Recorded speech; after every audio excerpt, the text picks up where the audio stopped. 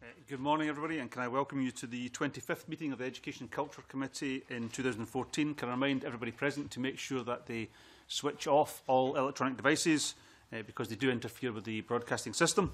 Um, uh, our first item today is to hear evidence as part of our scrutiny of the Scottish Government's draft budget 2015-16, which will focus on school spending.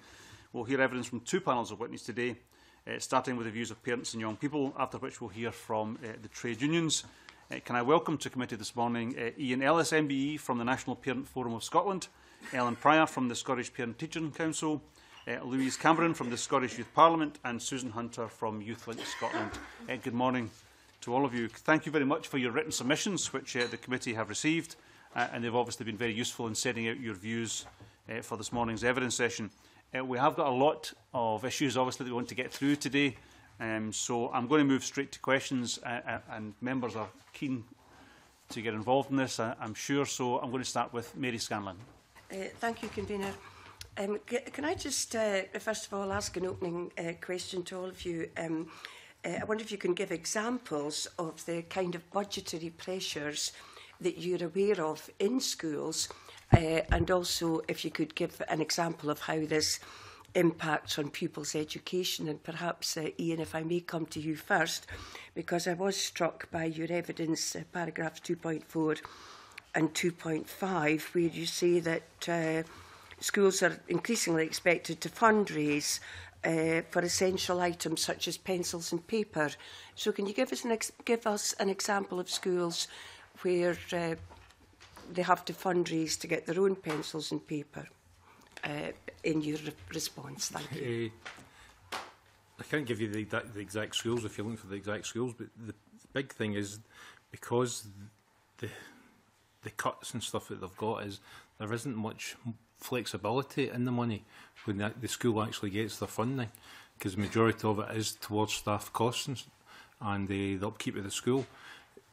So you, you're then looking at the priorities of getting material, course material for So it then just it filters down and what's the least thing to supply and it's pencils and papers and stuff.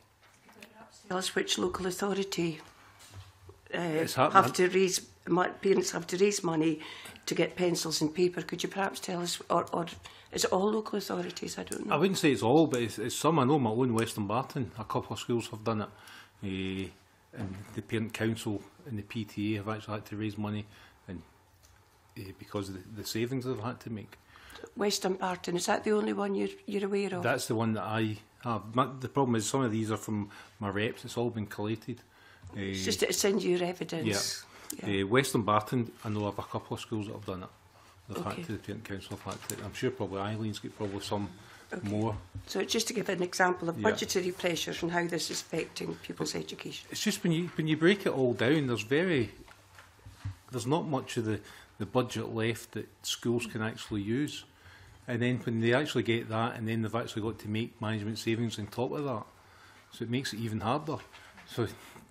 the budget just gets cut.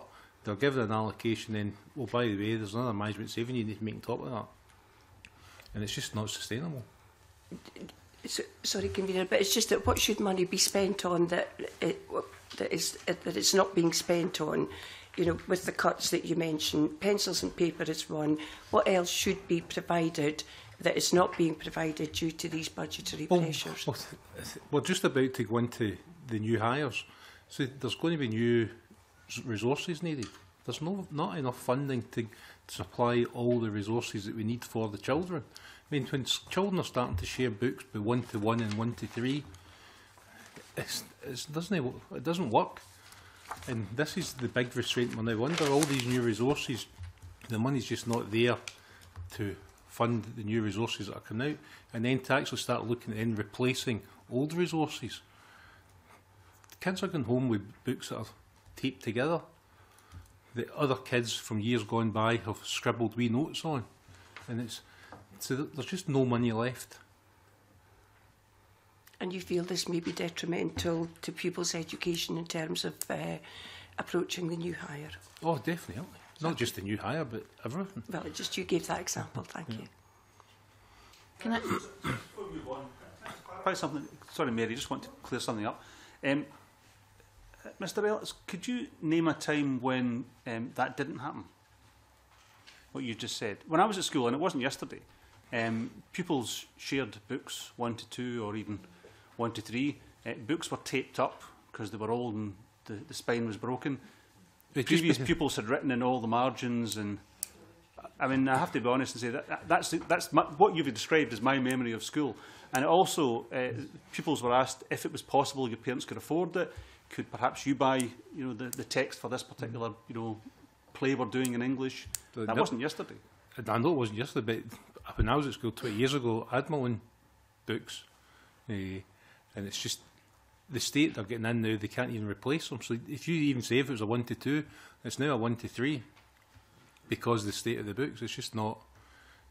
The, and the thing is, the way Scottish education is, and what we're wanting Scottish education to be, is that good enough for a one to three? No, no, that's not my point. I, I, I agree, it's not good enough. But my my point is that when I was at school, um, one to three sharing parents having to raise money to su supply extra books and material, old books, books being taped up, was was the norm. It, it, it was it was happening then, over yeah. thirty or 40 years ago, and I'm just asking you, you know, oh. what you why you think that's new in any way?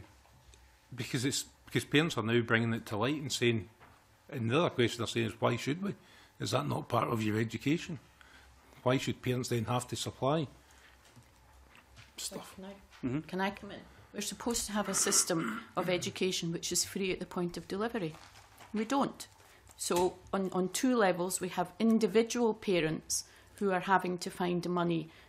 to um, pay for materials or trips or um, whatever for their young people. Now, we know that that has an impact. If you, if you read the Children's Commissioner's report earlier this year, young people self-select. So if they are looking at subject choices and they know they come from a household where there is little money, they will not take subjects which require those additional resources. So they will avoid technical subjects and practical subjects. They will not put themselves forward for school trips because they know their parents can't afford them. So on an individual basis, we impact on families and on the education of young people. Uh, as far as parent groups are concerned, absolutely. We have been tracking for a number of years. Parent groups are raising funds not for frills, not for, for ribbons and, and fancy things, but for fundamental resources. IT equipment is a key one. So, you know, um, smart boards, laptops, iPads, tablets, that kind of thing. So, parent groups are funding things which would normally would have previously been included within the school's budget, and that is across the board. That is all over. Um, so at the Scottish Youth Parliament, we consult directly with young people, and recently we've done a consultation. Um, our Education and Lifelong Learning Committee has done a consultation with young people on this, and um, we submitted a full copy of the evidence to your committee. Um, and what we found was that um, young people were were very happy with Curriculum for Excellence and they liked it, but they felt that there was some issues with the implementation and they felt that maybe teachers could have been a, uh, perhaps a little bit better prepared and also there wasn't enough resources to coincide with the education but um, in terms of um, the the content of curriculum for excellence they've been relatively happy and um, it's been you know we feel that um, perhaps the committee could look at um, maybe putting um, a bit of thought into the resources going into it because it would be preventative spending and we feel that if um, you, this was looked at that you know it would it would benefit in the future because the you know the more we put into education um, it will come back in the future and the spending will go, go back into the economy. recent budgetary pressures have impacted on the implementation of Curriculum for Excellence? Yes, um, so a concern that we have is that um, it would appear that the spending is going to struggle over the next year and we think that maybe if we um, resolve these issues with resourcing now then it would you know it would um, benefit in the long run. Thank you. Um, you think Scotland represents the, our membership of over 100 organisations, both in the voluntary and statutory um, sector and our local authorities. Um, I think the, the experience that we have is that the budgetary pressures on school is the impact on, on not on teacher numbers directly, but the amount of time teachers have to invest in partnership working with youth work practitioners um, to deliver the outcomes of Curriculum for Excellence, giving the young people the principles of breadth um, progression, personalisation and choice and youth work offers offers that and there's really good examples of youth work in schools programs where those opportunities um, need to be there but it requires teacher time both in the planning um, and also in times in the delivery delivery of that.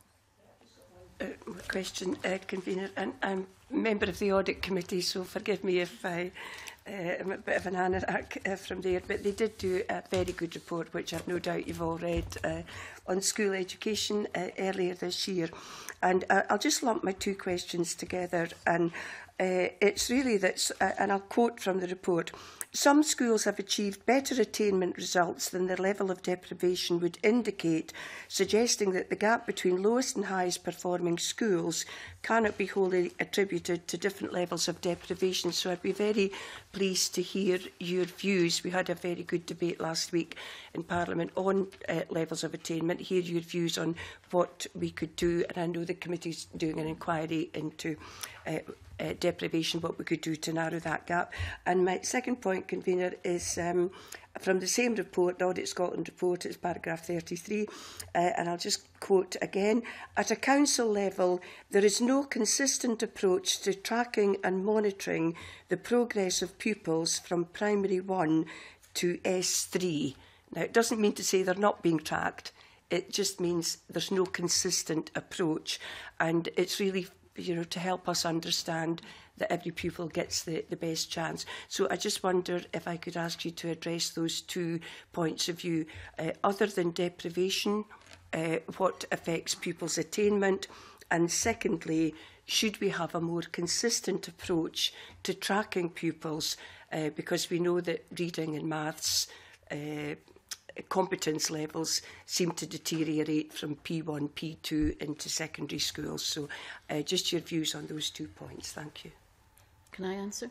Um, the, I mean, the two key things which impact on attainment for young people are parental engagement and quality of teaching. You know, it, that's not rocket science, it's out there. We all know that that's the reality. I mean, we pointed out in our paper that we've got to have a clear clear eye on the difference between parental involvement and parental engagement.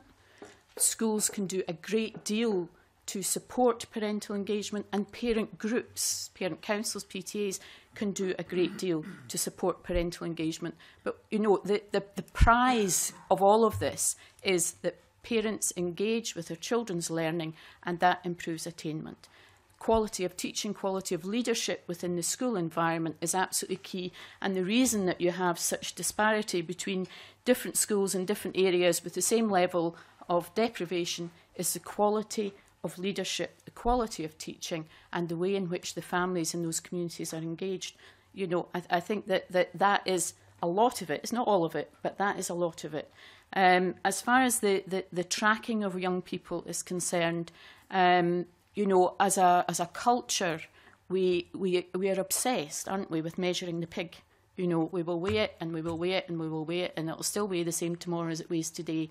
We we if we use um, you know assessment as a way of of weighing the pig, just so that we can we can note that down. We know that, that schools are struggling with the amount of paperwork, with the amount of bureaucracy that's already on them. We've got to be extremely cautious, I think, about putting in further measures for attainment.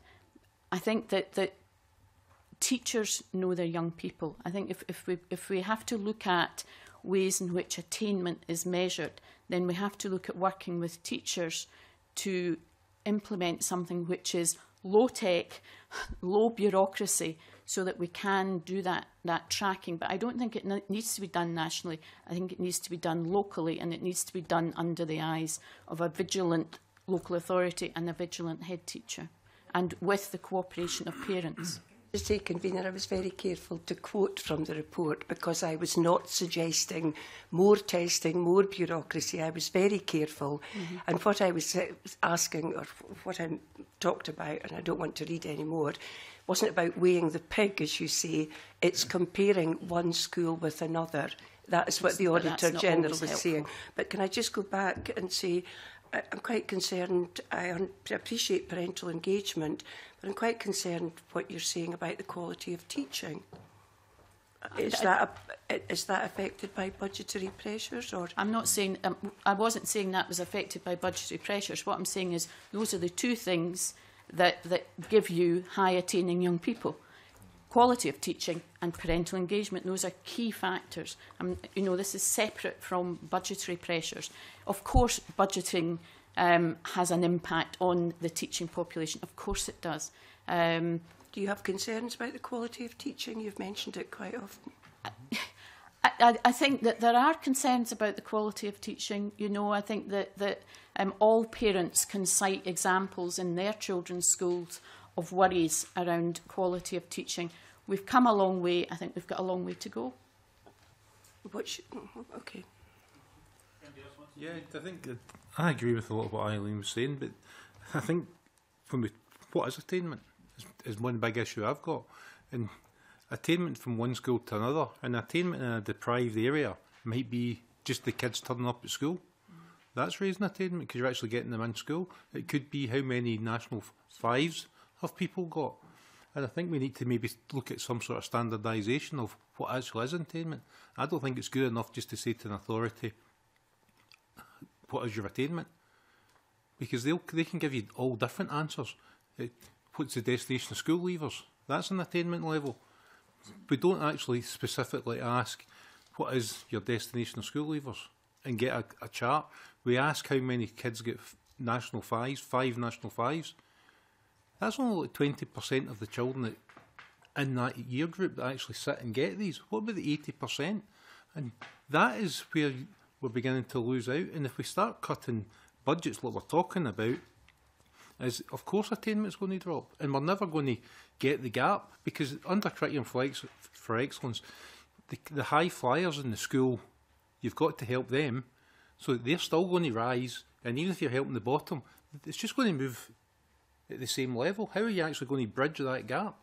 And it leads then on to your quality of teaching. And it is, we need quality teachers. And there is issues with teachers across the country. Eh, the, the GTCS is beginning to deal with with some problems, and, and God forbid, we've seen the days that they've actually get rid of some teachers. I used to call teachers bombproof because you couldn't get rid of them once they're on a job, and that was them. But we're now beginning to look at it and sort this out, and we're beginning to get quality teachers through. And the new teachers that are coming through under Curriculum for Excellence, through the colleges, you, you see them, And it's night and day when you see some of these young teachers coming through the system. And some of the ideas that they're, they're using to bring the kids on is just really, it's mind-blowing. And I think the big issue is if budget restraints start to kick in, then I honestly think just now it's going it could turn into a postcode lottery because some authorities work far better with their budgets than others and you begin to see gaps across the country. Well, all right, there is bits where some authorities, uh, some kids are paid more or to fund them for the year than others. But a lot of it's cuts. In the last three years, there's been cuts, not a lot to education. The next three years, there's going to be serious cuts to education because a lot of the authority, other departments have been cut to the bone how do they make savings in education? Now, the bus trip down the road, making it just statutory, that's not much of a saving. The only way to make serious savings in education is through staffing and school closures, neither of which are acceptable to parents. And if we're going to actually look at proper, if you want curriculum for excellence to go on the road that we're going, which is one of the could be one of the best systems in the world, I think if we pull the carpet from under this now, then I think there's a good chance we'll end up back down the, the ladder, a big step.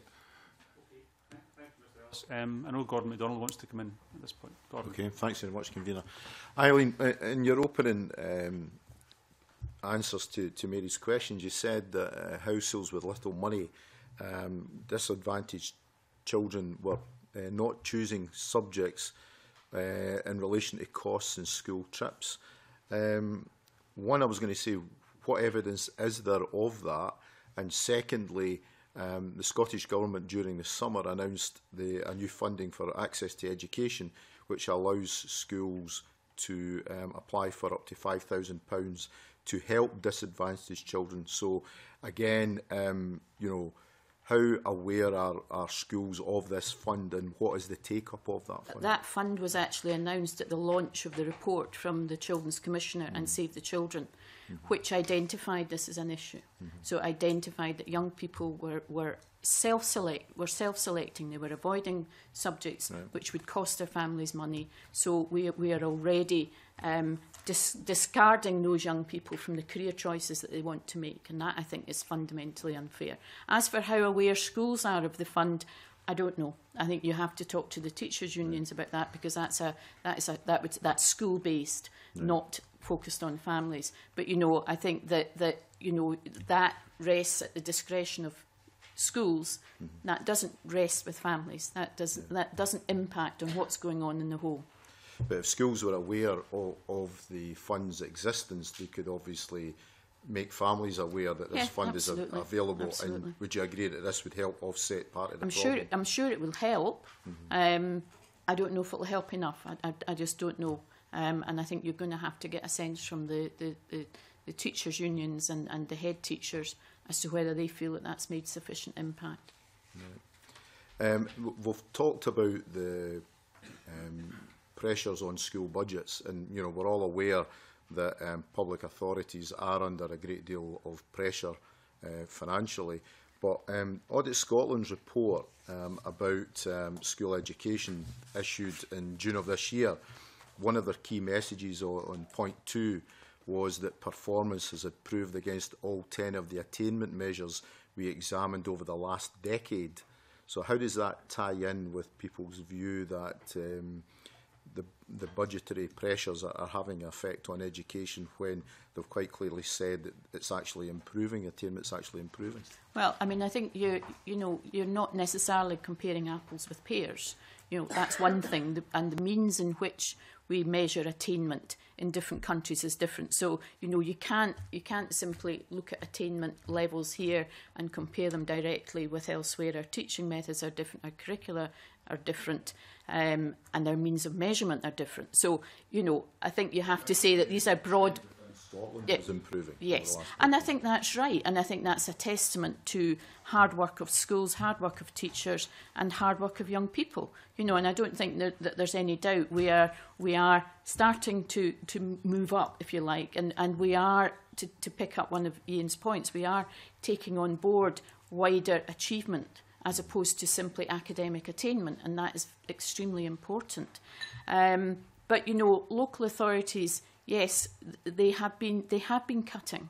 They have been cutting for quite some years, and you see it at um, at head office, if you like, um, because the the staffing levels within education departments or whatever kind of department they are, because they're all actually multifunction now. The, the number of quality improvement officers has really dropped, and you'll see that in, in mm. the, that report also, and parental involvement officers. The number has probably remained static, but the amount of time that they actually have to support parental involvement has been cut drastically.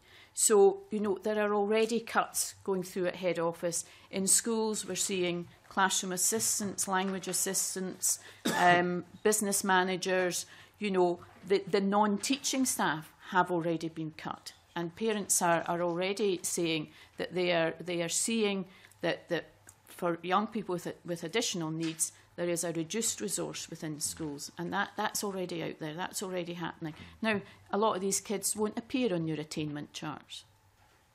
So how do we know what impact that's having, other than the fact that parents are telling us, and I imagine that um, people at the Additional Support Needs Tribunal will be getting more cases. Can I just... I mm-hmm. I'm heartened by that report, Riley, because I think we have raised the, the barrier on Scotland. Mm -hmm. And the big issue is, though, if the cuts that that we're talking about going to come in is it can only be detrimental to the, the system. It can't keep going if because the only way, as I say, to save serious money is school closures and staffing. And as soon as we start affecting the staffing, things are going to fall because there's that much pressure on the staff just now that they can only get worse. And that's my concern is we're so far with we're going through this period of curriculum for excellence and the new qualifications, the new hires all coming in.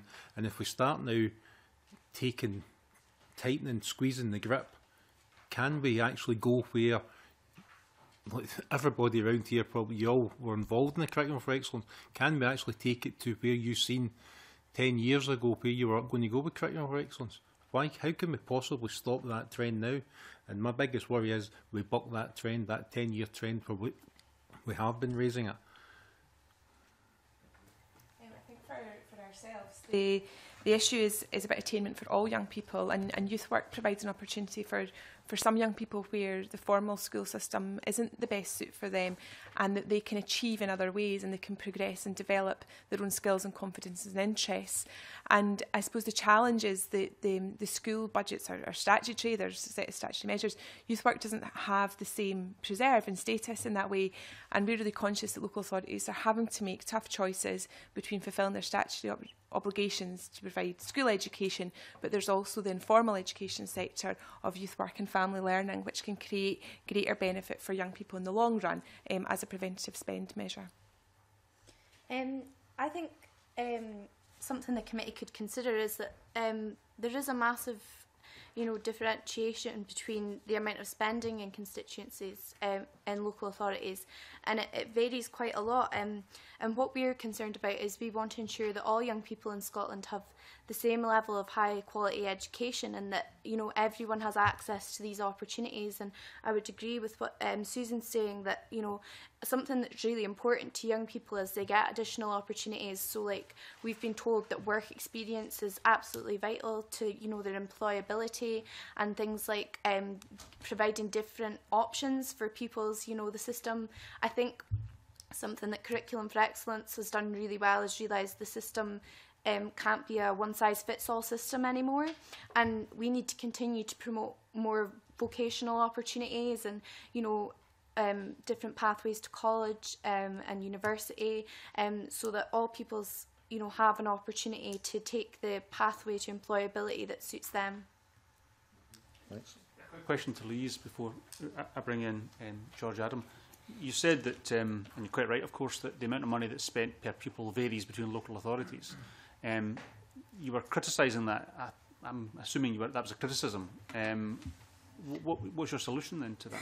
It wasn't such. A, it wasn't so much as a criticism. It was. It was more of just a, um, something that I noticed, and um, you know, I think I don't dispute that you know there are factors that come into that like rurality and stuff, but um, I think that we just need to make sure that you know the consistency of education isn't differentiating between local authorities, and I'm I'm not saying it does, but um, you know the difference in spending is quite a lot. I mean, the lowest is 4,433 and the highest is 10,821. And you know that's that's a massive difference, and the amount of resources that could be bought in that money um, could could definitely have an impact on someone's education.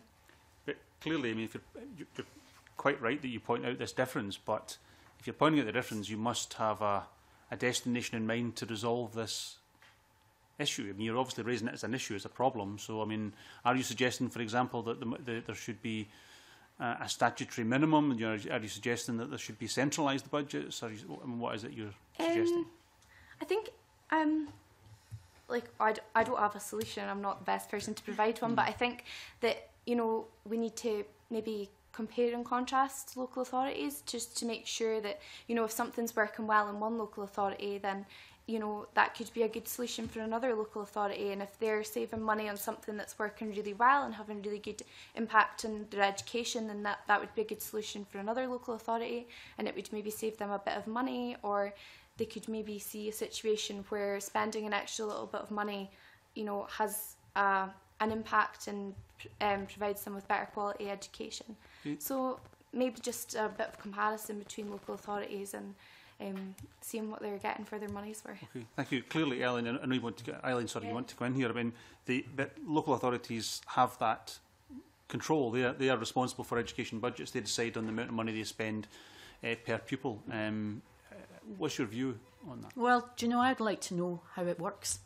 Um, when I when I started in this job, I tried to find out, and the, one of the people I spoke to, who shall, shall remain nameless, said to me, "It's only two people who know how it works, and one of them's deed."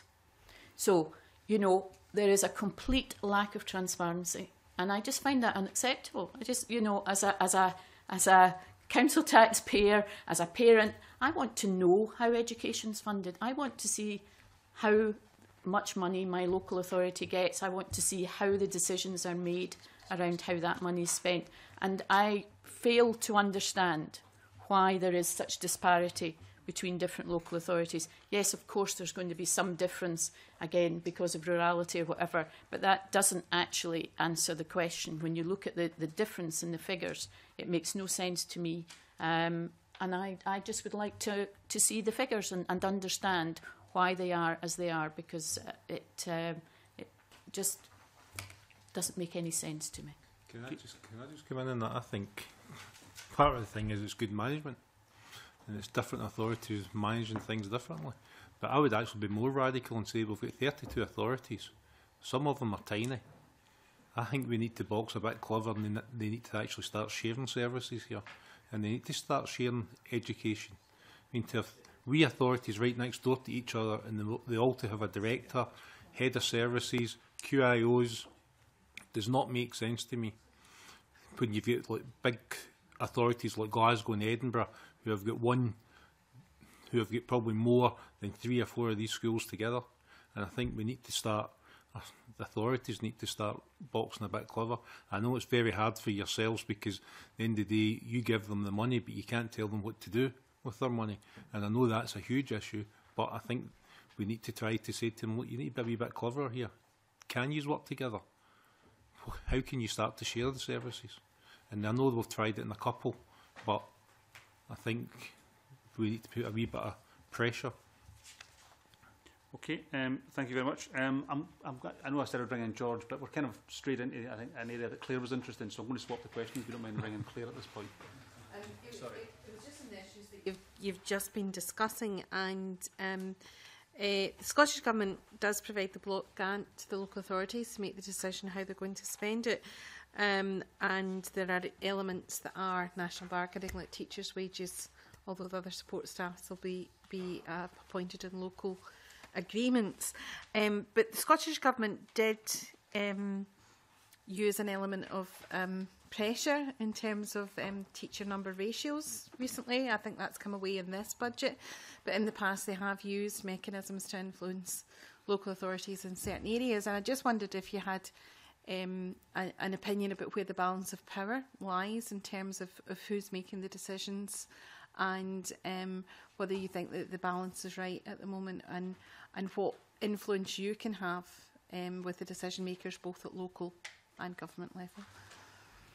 Well, I mean, our submission, you know, we actually put forward the even more radical suggestion that we should have a, a real rethink about how we deliver education services. You know, again, picking up on what Ian said, we've got 32 local authorities, we've got an incredible amount of duplication. Um, is that the most efficient way for us to deliver education for the betterment of all of our young people? And that's a question I think we need to address. You know, I'm, not, not saying it isn't But I'm asking, is it? You know, I think we really do have to stop and think, is this the best way of ensuring that all of our young people get the best possible service? Um, and the, the duplication between local authorities is just one part of that. You know, there is, there is also this issue of transparency. There is, a, there is and again, we identified, identified in our submission the, the, the whole reality of what is happening at local authority level, that we no longer have education departments. I think we only have one education director left in Scotland. So we have children and families, we have leisure children and families, we have justice children and families. And the focus on education is being diminished and the understanding of what we're aiming for, I believe, is being diminished. And that's, that's being, being um, further enacted by the cuts that are going on and, the, and the, the reduction in staffing within local authorities. So I think there comes a point where we have to say, stop. You know, is this really the best way to do this? Um, and we would suggest that, that the time has come when we do that. Um, so I'll just pick up on that point. Um, you um, mentioned um, the question, how could we have influence in decision makers? Um, I think something we're very lucky and grateful to have um, in Scotland is that we've got lots of youth organisations like SYP, and you know we specialise in consulting with young people, and you know we've got a, an MSYP um, in every single constituency in Scotland, and I think if you want to get young people's views, they're a brilliant way to do it. They're they're interested, they specialise in consultation with young people, and they can deliver the views to you, and I think it's it's very valuable, and it would have very good outcomes because you're going to get you'll get a, an opinion straight from um, the young person's mouth per se. Um, I think something else that's really important is we were absolutely delighted that um, you introduced a, cha- a, training youth and women's employment um, budget, and you know I think there's a valuable thing there that you can link the link the two together. Um, there's key links between education and employability, and um, you know, if you can maybe get them to work together a bit, it would provide, you know, very good links for the future because at the end of the day, it's the education that's going to go on to make them employable and um, young people get their employability school, uh, skills from schools. So I think there's a there's a very key link there that's very important, and I think that the committee could consider doing something with that, and it would be very valuable. um, from our perspective, we would also welcome the involvement of young people um, in decision making or consultation activity around local decision making. And we know that um, within our membership, there are a network of local youth voice organisations um, who are quite often placed within the education departments um, of local authorities who could provide a vehicle for, for meaningful dialogue um, around spend. And, and we've seen around um, the referendum our young people engaging on a single issue topic and their ability to, to present solid argument and explore fact and be aware of, of consequences. And I think education is a similar issue um, because it affects young people on a day-to-day -day basis. And there would be no doubt um, there wouldn't be any shortage of ideas or creativity from young people as to how, how budgets could be allocated. Okay. Yeah. So I'm painfully aware as we drifted into discussions of local authority reorganisation, I represent uh, the smallest local authority in Scotland, uh, which may be preserved by being surrounded by water, but nonetheless. Um, I, one of the benefits of, of devolution has been, as um, I, I think it was a Basque politician explained to me, that the bums are closer to kick. And is there, is there a sacrifice that we, are, uh, that we make, that we're prepared to make, that while everything's going well, nobody necessarily needs to, to go in and, and, and face up either to their elected member or to their um, education official?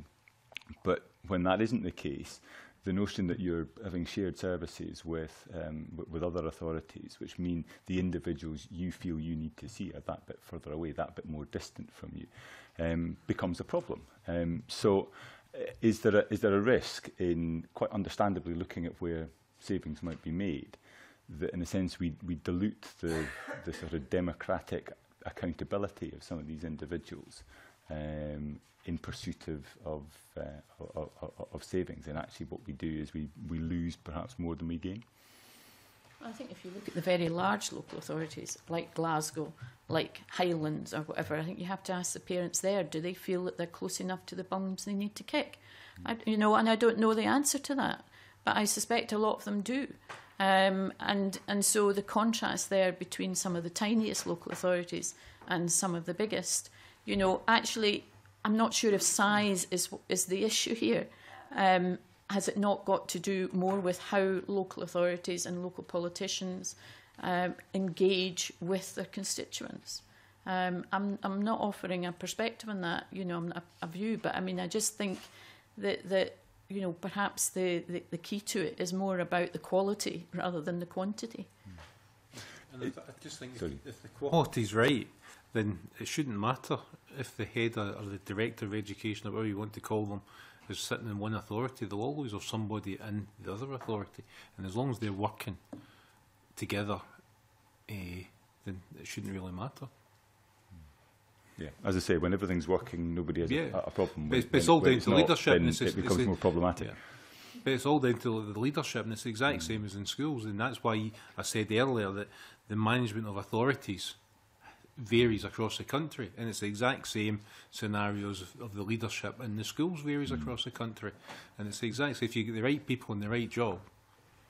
then it's totally different, and that's why you see the issues in schools where the way above where people would normally think they should be, but it's down to leadership. It's interesting you make that point because what the, I was going to go on to ask was whether or not actually the way of addressing that potential democratic deficit is to have the accountability rested more within individual schools. I mean, what's striking is that you see differences across local mm-hmm. authorities in terms of per head of pupils, um, eh, spending per head of pupil. Uh, but actually, there's there's there's a there's an amazing amount of kind of uniformity ac across local authorities, um, which kind of suggests that there's a bit of a one size fits all within each local authority. Do you think there'd be advantages in in in having head teachers, heads of department, wh whoever it may be, um, perhaps um, empowered to, to take more decisions um, themselves than is currently. Well, that, that was the idea behind devolved school management. Mm. If you if you're old enough to remember, um, you know, and and if, if you look at the I can't remember the name of the report that David Cameron did around mm. devolved school management and the potential there for developing leadership within schools. But you know, we've got a real issue um, in terms of recruiting head teachers. Mm. You know, there is a there is a real challenge there Um, schools are, or local authorities are really struggling to get people to step up to take on leadership roles. Now, again, speak to the teaching unions and whatnot about that, but it, you know, it seems to be a combination of factors. Um, and they'll say it's terms and conditions and so on, but it's not just that. You know, there are there are other factors um, at play here, and one of them is that actually, as a head teacher, you have very little control. You've got control of the paperclip budget. You know, mm. that's about the only bit of the budget you've got control of because mm. all the rest is committed. You've got your, your establishment costs, your power costs, your staff costs. That's all committed before you start and you're left with, you know, as I say, the paperclip budget. So if you're, go if you're actually going to have an effective leadership in a school, you actually have to give them a wee bit of authority. I'm going to reiterate my point and say I think you should get young people involved rather than head teachers. I think if you know, I think head teachers probably worry that if they say the wrong thing, then you know it might have an effect. But I think young people will tell you exactly what they think, and they'll tell you exactly what's right and what's wrong in schools. And um, I can I can say a personal example. So I've just left school. I've just gone to my first year of university, and um, they just had a review that they were probably going to shut my high school down, and there was a massive backlash in the community um, and you know there's been huge protests and consultation and it was just a, a suggestion it wasn't even going ahead so i think if you if you ask people they'll tell you and um, all you can do is listen and i think a, a, very good way of doing this is you know consulting with young people they'll tell you the quality of their schools and they'll be honest about it and um,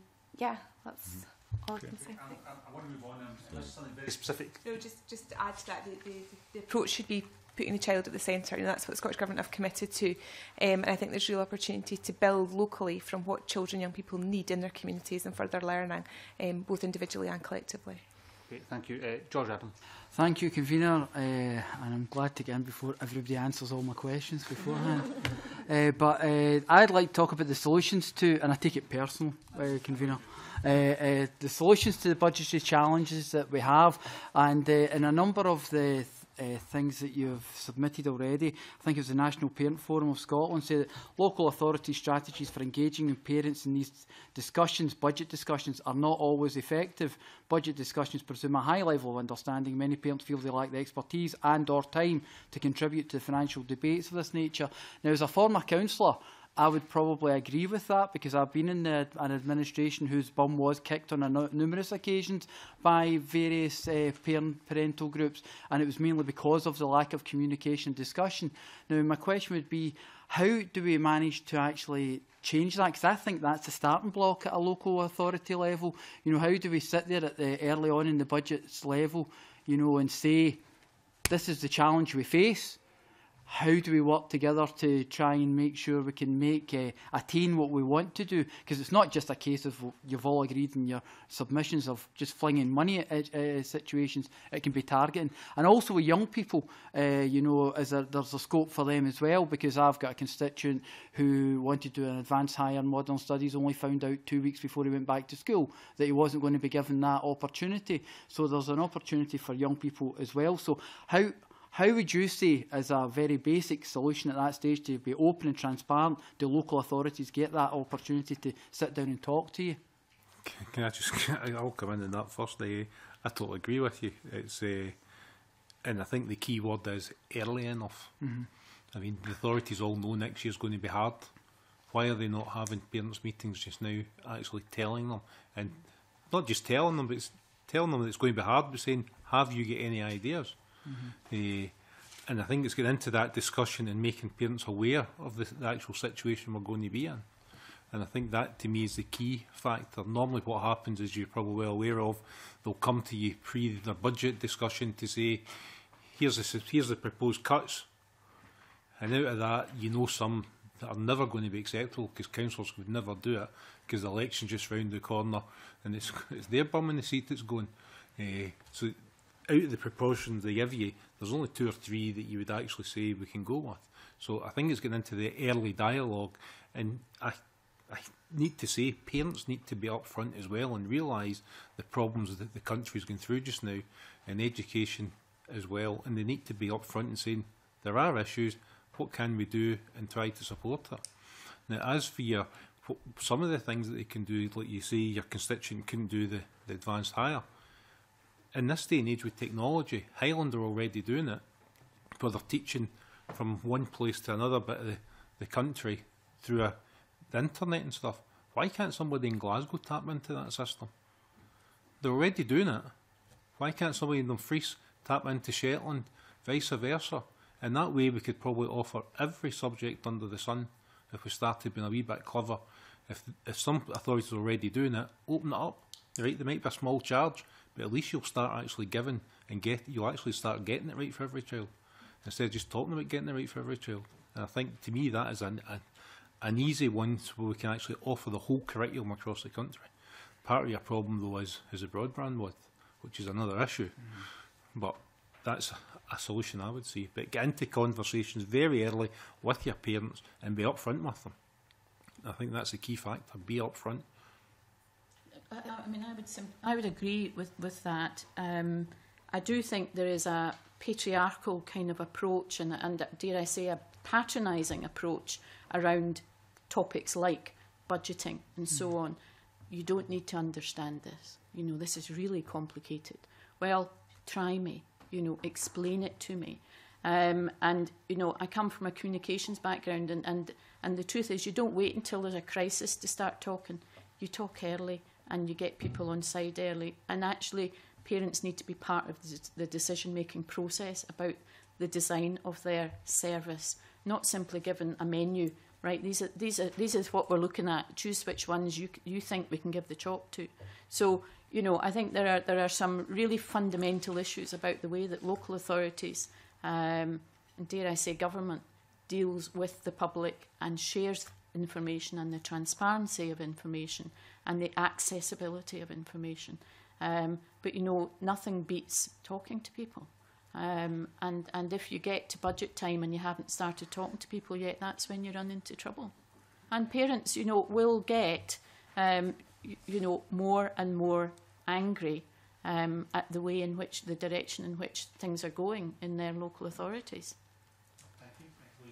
Um, I can offer a bit of personal insight to this. So um, at my school I had I had very good opportunities. If I wanted to do a subject, they would bend over backwards to let me do it, and I had a very good quality of education. But I know that this this this isn't consistent through all schools. Just from personal experience, it varies quite a lot in my local authority. Um, but I think like systems like that worked well. For example, in my school, if they didn't offer a subject, they would um, help um, provide you to go to another school that could offer the subject in the local authority, and you know they'd help a bit with transport if that was an issue.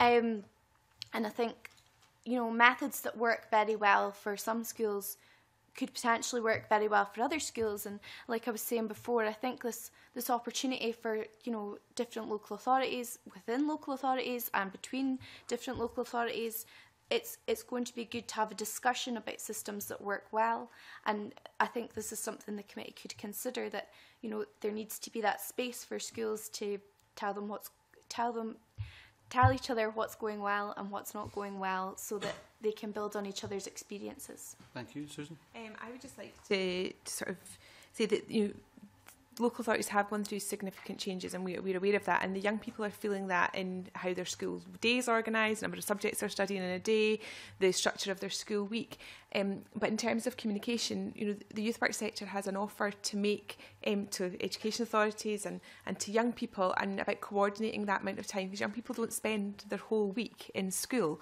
It's a proportion of that and making sure that there are meaningful offers that develop young people's learning and their personal development beyond the school gates. Um, and we believe that youth work can be part of that solution.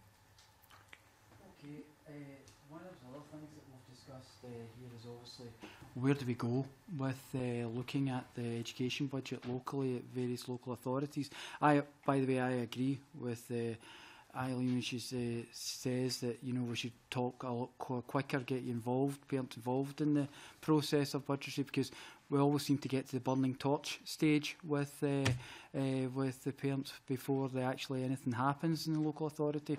But one thing I would actually say as well, we've talked about the budget, the fact that 51 percent of the budget's on uh, salaries. Uh, eh, 1865 so on other employees and 11% on uh, premises and related costs. Now, where do we go where, where, where do we look? How do we address the challenges that we're looking at here? Or local authorities, where do they go when they're looking at these challenges? Because the holy grail, as is already quietly in local authority terms, is joint working is uh, finding ways. But in Renfrewshire, where I come from, it's been talked about for 10, 15 years, and we're no further forward. Working with Glasgow City Council next door, Inverclyde, you know, the, all the local authorities. But uh, where do we go? I know Clark Manager, I think, I've got a they work with Sterling uh, eh, uh, over a kind of joint period. Uh, you know, where do we go? There's also, I know there's something like £348 million pounds spent a year on PPP contracts. That's about money we could actually do with uh, at this stage, you know. But where would you say, uh, if we were sitting down at your local authority and saying we're at the budget start of the budget process, where would you suggest to local authorities we should go down? Can I have eh, relatively short answer? I'm, I'm worried about time, still got a lot of areas to go through. We'll start with Susan this time would um, be looking at what, what measures can take for preventative spend. So looking long term around what impacts can and interventions can we do now that will make a benefit in the longer term. And in terms of, of premises and PPI, a lot of community groups and within authorities are having to pay charges to use facilities that were previously there. And although we see within the, the budget the investment in capital bill, we want to make sure that, the community groups are not penalised for delivering their activities because they're now having to pay charges into to schools.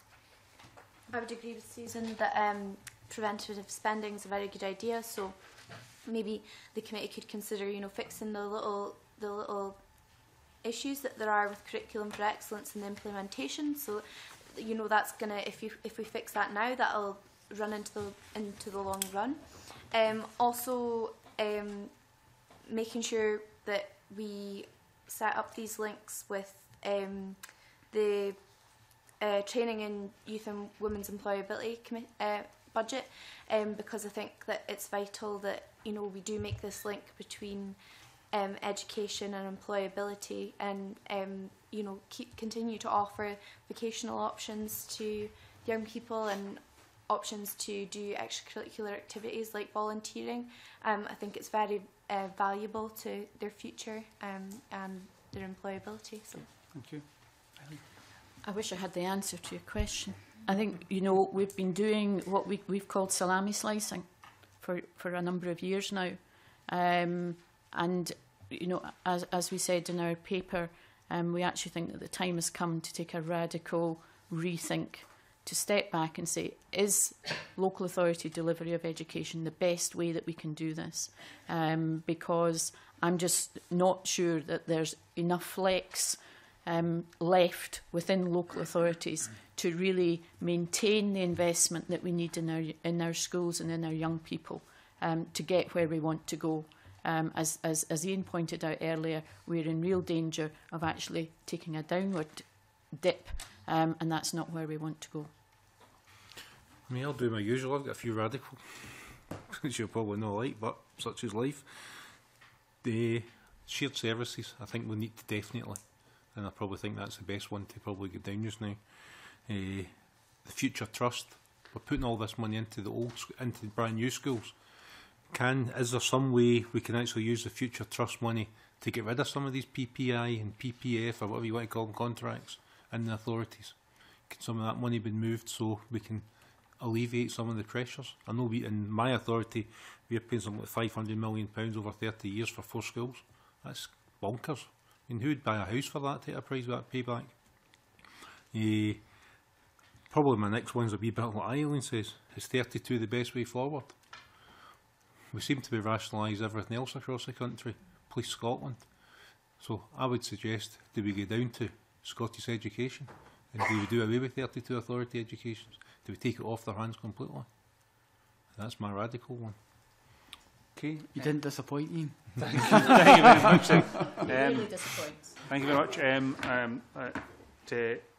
Colin. Thank you, Vienna. yes, I, uh, uh, I see there's been one or two radical uh, solutions put forward. Uh, one is the centralisation of the budget or ring fencing of it, and the other, of course, is increasing taxes, which is never a popular one. But is there actually space for getting better value for money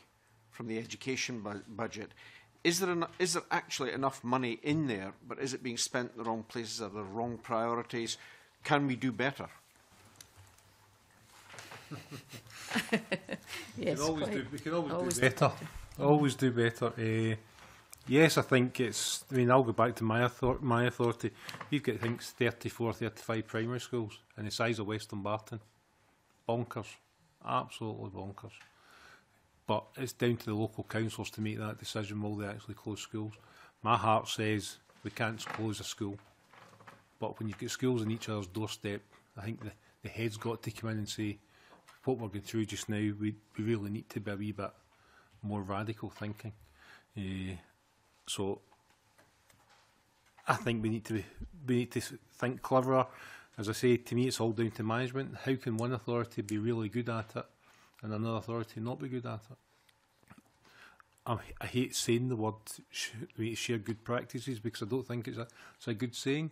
Because normally what happens is if, if you say to somebody, go and look at that good practice, the first thing they go is, we're never going to reach that, we're not even going to look at it. So I think we, we need to box a bit cleverer. I said my radical solution is they need to share services. And We need to just box a bit cleverer. Uh, and we need to make sure we get the right people in the right jobs, and that that's from head teachers to teachers all the way through.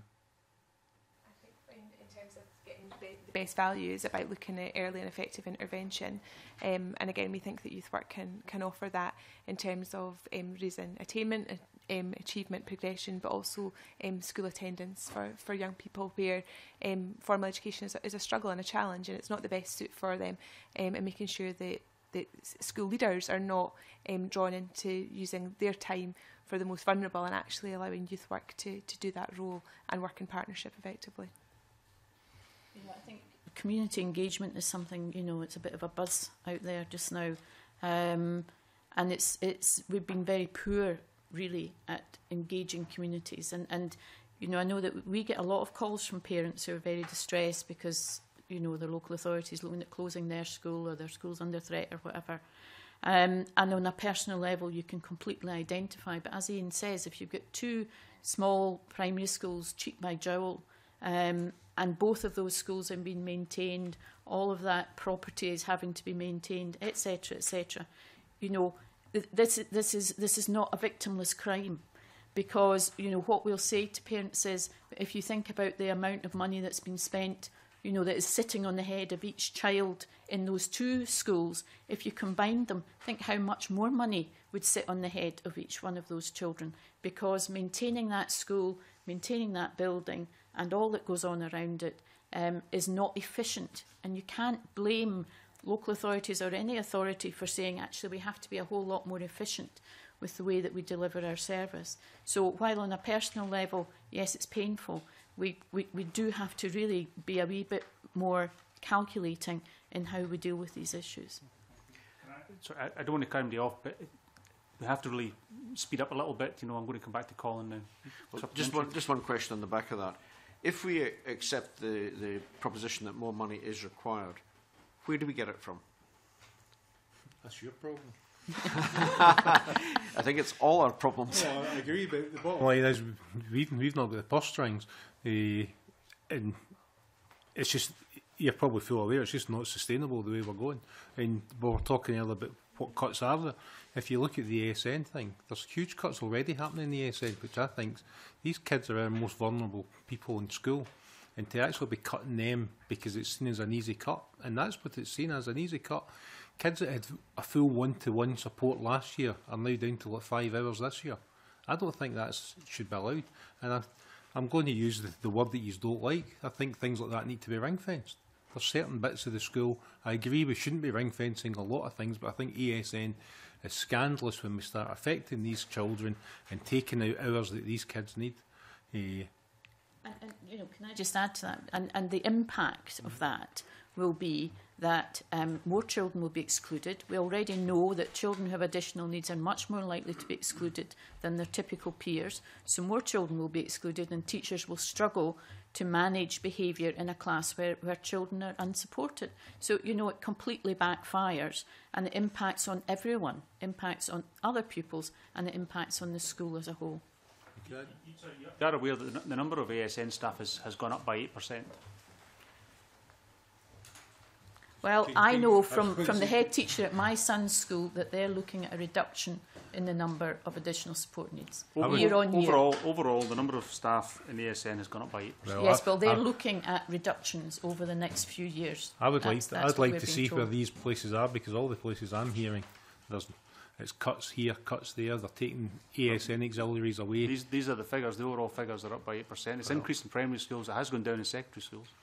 Well, all the evidence I'm getting is I don't know where you're getting the figures from, but it's not well, evidence that The figures are coming from no. the actual number of staff employed by local authorities. Yeah, yeah.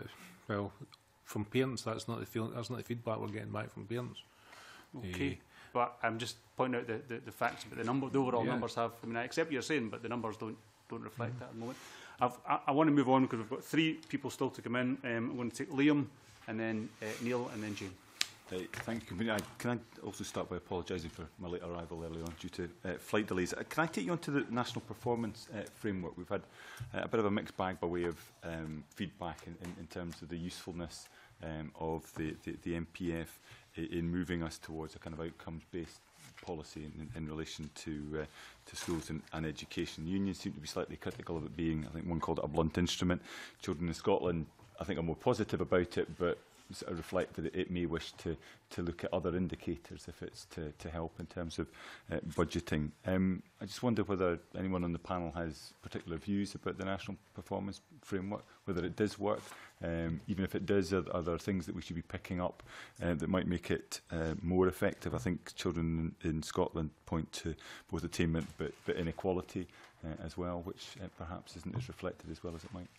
The youth work sector, the National Performance Framework, is, is seen as uh, as a part of a suite of indicators and outcomes um, for the sector and um, YouthLink is currently supporting um, our membership to look at outcomes for youth work that fit and feed into the national performance framework so um, we would welcome the, the maintaining of, of that uh, structure. Are the things that it's not picking up that you're do. I mean, you were talking before about the kind of value added that you provide, particularly for those who, for, for whom a, a school setting isn't necessarily always the, the, the, the most comfortable, most appropriate. Yeah, and I think that comes into the, the unique nature and purpose of youth work. And I think using our, our statement on the on the nature and purpose of youth work helps us um, identify some of those challenges about widening worldview and, and really starting with where the young person is at. Um, but the overall outcome, um, you know, National Outcome 4, they're, they're, that, that works for us in terms of um, what we want want every child and young person in Scotland to be. at SYP we have an e-learning mm-hmm. program which um, kind of ties in with that and I know at Young Scott they're they're working on a modern apprenticeship program um, and I went to an award ceremony for that last week and they'd all they'd all, all the people who'd gone into these modern apprentices had further employability and they had gone on to um, jobs which they were interested in doing or further apprenticeships which they wanted to do so I think like prog- programs that youth work provide are very valuable, um, and especially for you know, um, you know, furthering employability skills. I mean, it, it's going to it's very difficult. It's we're in tough times at the minute, and it's very difficult to get into things like university. And I think having these opportunities is very valuable, um, as it furthers these um, opportunities for young people. Mm. I really, you know, I, we, we haven't really addressed the National Performance Framework. I think for, for most parents, it's a complete unknown. I mean, what is it? How does it work? You know, they don't, they, it's not information that, that is shared with them at local authority or at school level. Um, they're not aware of what it means or how it impacts on how services are delivered. And, you know, it takes us back to the discussion that we had with Mr Adams, Adams around, you know, how transparent is the system? Well, the answer is not It's opaque. I, would, I was going to ask whether we should have a measurement, a, a, a clearer measurement in relation to the progress being made in supporting those with additional support needs, but I think given the earlier confusion about actually how many additional support needs um, uh, workers are, are, are actually in the field, um, it would suggest that there are, there are other issues there that uh, perhaps need uh, addressing more, uh, more urgently. I think for your national performance, most parents to be honest, I don't think I actually bothered about the national performance. They're more interested in what's happening in their school. Mm. And so, but do they see that on the basis of input so that the budget's gone up, the teachers have remained the same or have, it, uh, or have increased, that the subject choices are as wide as they were the previous year? Or are, there, are, uh, are, uh, are they looking at kind of trends over the course of a number of years and saying, that we're, we're progressing in this area, but we're not progressing in, in that area. Because essentially that's, I suppose, what the national frame, performance framework is looking to achieve on a, on a, on a wider scale. Again, I, I, I think parents, first and foremost, are only interested in their own child and how well they're doing. And so they, what they want to do is compare what's happening in their school and the school down the road, which I don't understand, and I don't even understand why they would want to look at what's happening nationally because matters you, are you going to move your child because the school down the road's doing better, the school and the different authorities doing better, and I don't think they will. So all their interest in what's happening at their school, how is their staff working? Is their, have they got the staff, which is the big issue? They, is it supply staff? Is it can they get the supply staff? And that's what they're they're more interested. In. They're not really interested. My my feeling I get from parents is when I have these meetings, they don't really want to know What's happening nationally is locally and from local down to their school. Okay, thank you. Um, Neil. Firstly, can I thank you for your evidence uh, this morning? It's certainly given us a, a reality check in terms of what's happening on the ground and should act as a, as a, as a wake-up call to um, the Scottish Government. Um, can I ask, we've talked a lot about consultation with, with local authorities. Can I ask you about consultation with the Scottish Government? The first sentence of the uh, draft budget document says sets out the Scottish Government spending plans and goes on to say for consultation with the people of Scotland. Now, obviously, the budget doesn't set individual school budgets, but there are implementations for the for the uh, local government block grant, and also there are decisions, national policies around teacher numbers, etc. Can I ask you what, uh, to what extent your organisations have been involved uh, in discussions around spending on schools with the Scottish Government either prior to or subsequent to the publication of the draft budget? That's easy. Not, not at all. Uh, I'm sitting on the working group that uh, eh, Mr Swinney put for teachers' terms and conditions wants to report back by the 1st of March. I've sat, I sit in quite a normal, quite a few committees sitting in the Crown Finance Management Board and, and a few of my other uh, colleagues sitting other big committees like Gifrake, uh, the Wood Commission, the Adelaide Years Collaborative. So we're, we're feeding in to these. And the other organisations have. Um, not that I'm, I'm aware of, however, I've only been with the organisation a, a short period of time. I'm not entirely sure, but I'm sure our team can get back to you on that. Okay. Um, and my follow-up question to that is, in what ways do you think that, given what I said earlier about the, the, the budget and the implications for for um, for spending on schools, how do you think consultation with the Scottish Government could be improved with organisations representing pupils and parents throughout the draft budget process. And what would you say to the Scottish Government at the moment in terms of um, uh, this, this, this draft budget and the implications that that has, given everything that we've been hearing about, um, the, pressure, the budget pressures are having on classrooms and on, on, on pupils? I, I would say that, that um, you know, at the end of the day, the parents, on behalf of their children, are, are at the sharp end. Um, and and they are the people who can give, as was said earlier, they can give a reality check as to what it feels like on a day-to-day -day basis in our schools, whether it's things like parents having to contribute to materials costs or their children avoiding school trips or activities because it's going to cost them money, their experience of additional support needs or language assistance not being available or subjects not being available. So they're, they're the folk that can actually, we, we, don't, we don't talk in uh, kind, of, kind of policy speak. We talk about what's actually happening to our kids in our schools, in our local communities. So um, to me, that should be gold dust. You know, that should be the, the, the, the kind of starting point. for what's it actually looking like because we can talk at policy level about this block grant and, and that ring fencing and whatever, but actually what matters to our young people for their future is what's happening in their local school, in their classroom on a day-to-day -day basis. So, you know, that discussion has to start there. Um, and, and we made a point in the submission that actually this the budget is largely inaccessible. You know, that's, that is not going to get through to your average parent. That information is, is, is opaque and, and simply isn't understandable to most people. I know because I struggled. I would i go along with what Eileen's saying. Uh, but the interesting it uh, will be the next three years. We've got a general election, we've got a Scottish election, we've got a local election, and uh, what surprises me every time elections come along, pots of money seem to become available. Uh, and I hate to say it, pol politicians going for a short-term hit, and maybe we need to look at stop the short-term hits, and that means the curriculum as well. Let's stop doing things that so ministers or directors of education or local councillors. It's amazing how local councillors can find a wee pet project and find money for it yet we can't find money to put into sustainable. And I think we need to look at box a wee bit clever and stop trying to pull the wool over people's eyes. But as for the how can parents get fully involved in the budget? As Eileen says, you look at it and you, you can't understand it. You, need to have a maths degree and even then you'll be struggling.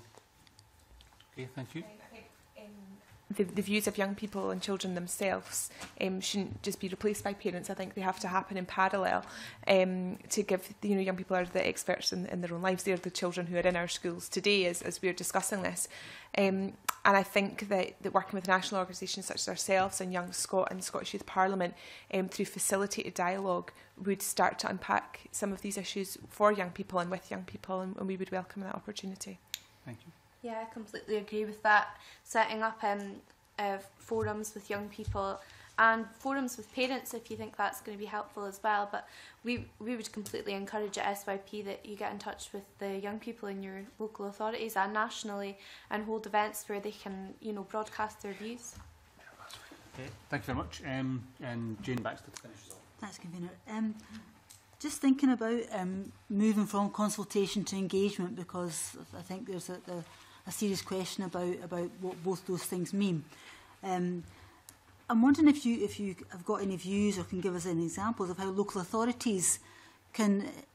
en engage more appropriately with communities, especially in the light of what we've heard this morning about school as part of the community, the learning that goes on outside of school.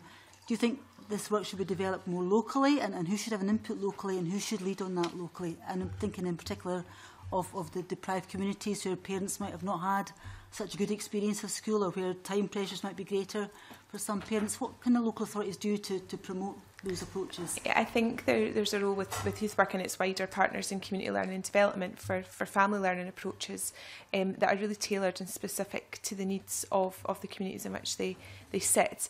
Um, there's examples of, of taking like a commission approach where um, communities are bringing their own evidence forward, so starting with a, a blank page rather than a pre-written page by any agency or um, to, to, to consult. Um, and I think that that level of transparency and openness and it being genuine is is what people welcome and and young people in particular are quite quick to distrust where they think there's an, an alternative agenda um so making sure that, that those um opportunities are are equal and and based on trust and respect. Um, so we take examples even nationally, things like the Young Scots Youth Commission on alcohol and their Youth Commission on tobacco um, shows the approach where young people can actually generate solutions and recommendations to yourselves as, um, you know, in, in the Parliament and government um, as to, to what the, some of the solutions and ideas may be. And maybe there's scope to do this for education. And, and bringing the, the depth of experience and range of experience that young people have across Scotland, as Louise has, has identified, you know, depending matter what school you go to, you will have a different experience mm-hmm. of education.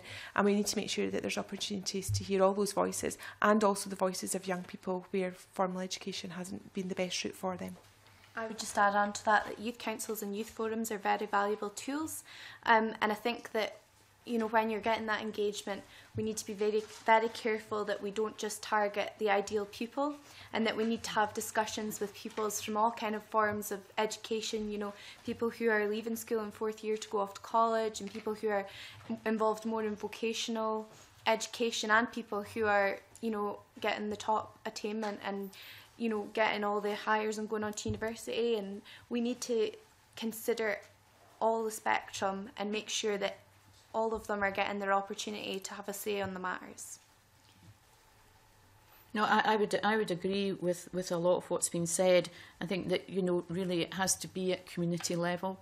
Um, you know, it, many years ago, communities had their churches and they had their schools, and now actually they've got their schools for the most part, if they're lucky. Um, so I think a lot of this can start in schools, um, and a lot of the discussion with young people and, and with their parents. Um, and it's got to be grounded in their lived experience, not um, set as an agenda from local authority or from central, central government. It's got to be about what their lives are now. Yeah, probably the only chance for engagement is through the school because that's the only way you'll get it is I mean, we've probably all been at events where you, you, you hold an event for people and they'll only come, yeah. A, if they're wanting to, and it's the, the harder ones that you want to, it's ones you actually want to engage with and you can never engage with. Mm. And this happens right across the country. You can go into any school and they'll tell you the parents that they actually want to see is the parents that they never see. And the only way of probably getting round that is to go through the schools and especially use the youngsters in the schools because they'll bring their parents, their parents will come to see them, the parents will bring their friends, their grandparents, and to me that's the only way you'll get into a proper engagement. Just one more convener. Just briefly, yes, please. Um, and just lastly, I wonder whether, whether any of the witnesses would wish to comment on a statement made by the Association of Directors of Education that due to sensitivities involved, and I'm quoting, the reality is that draft budgets are now kept largely confidential. There's been some reference to that already this morning, but that was a statement that they made. Does anybody want to comment on that? Is there a, an, an alternative process going on behind closed doors that, that, that, that Because they're all feared, basically, isn't it? Um, and because at local authority level we're on election cycles and local politicians have their eyes constantly on are they going to get in next time around. So, so you know, that's why I think a lot of the time um, budgets are kept close to the chest until, as you, you know, the lighted torch time. Um, and then actually you see it time and time again. Um, local authority councillors backing off from making the tough choices, from making the tough decisions. And you, you, you know, Western Bartonshire, we've seen it. Other local authorities, we've seen it as well, because they're looking at when's their election coming up. It's quite, it's quite interesting. Uh, again, I'm going back to Western Barton. It's We've changed the politicians lately. A different party took control, and the party previously were very upfront and showing you budgets. The budgets were in December. You've seen them. They weren't obviously finalised until February, March. Now they appear in March, and that's it. Mm. So it's actually taken to me what was a big step forward is now taking a big step back, and it is. It's you hear things. Your director will tell you things that they probably shouldn't tell you and this is happening across the country. So they're they're trying to be up front but their hands are fairly tied by politicians. And, and bear in mind, the people who are hearing that are the folk who are on their local representative group. It's not every parent, certainly isn't. It's the, it's, it's the few that sit on groups or committees or whatever. So this message is not getting out to parents whose kids are, are in, in the schools. I think we've got an absolute duty to make sure that this information isn't confidential. People can't tell you what's you know what's good and what's bad if you know if it, until if if they don't know that it's going to be cut. I mean, um, it, the backlash will be when people find out the services are being cut, and I think that's when it, will become clear what services really matter in the local communities.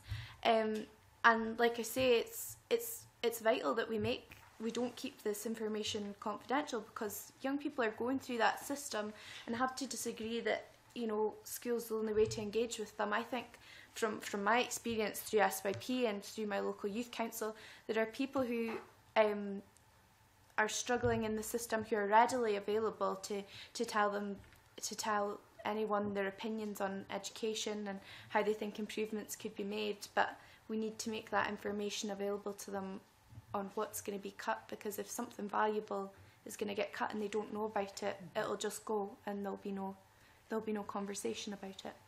Okay, thank you. Susan, you to add? No. Okay, that's very helpful. Thank you very much for that. Um, can I thank you all for coming along this morning? You've obviously raised a number of uh, very useful and, and important and interesting uh, matters that I'm sure uh, members will be interested to raise with the Scottish Government and the Cabinet Secretary when he comes to committee next week. So thank you very much for coming along and I'll briefly suspend.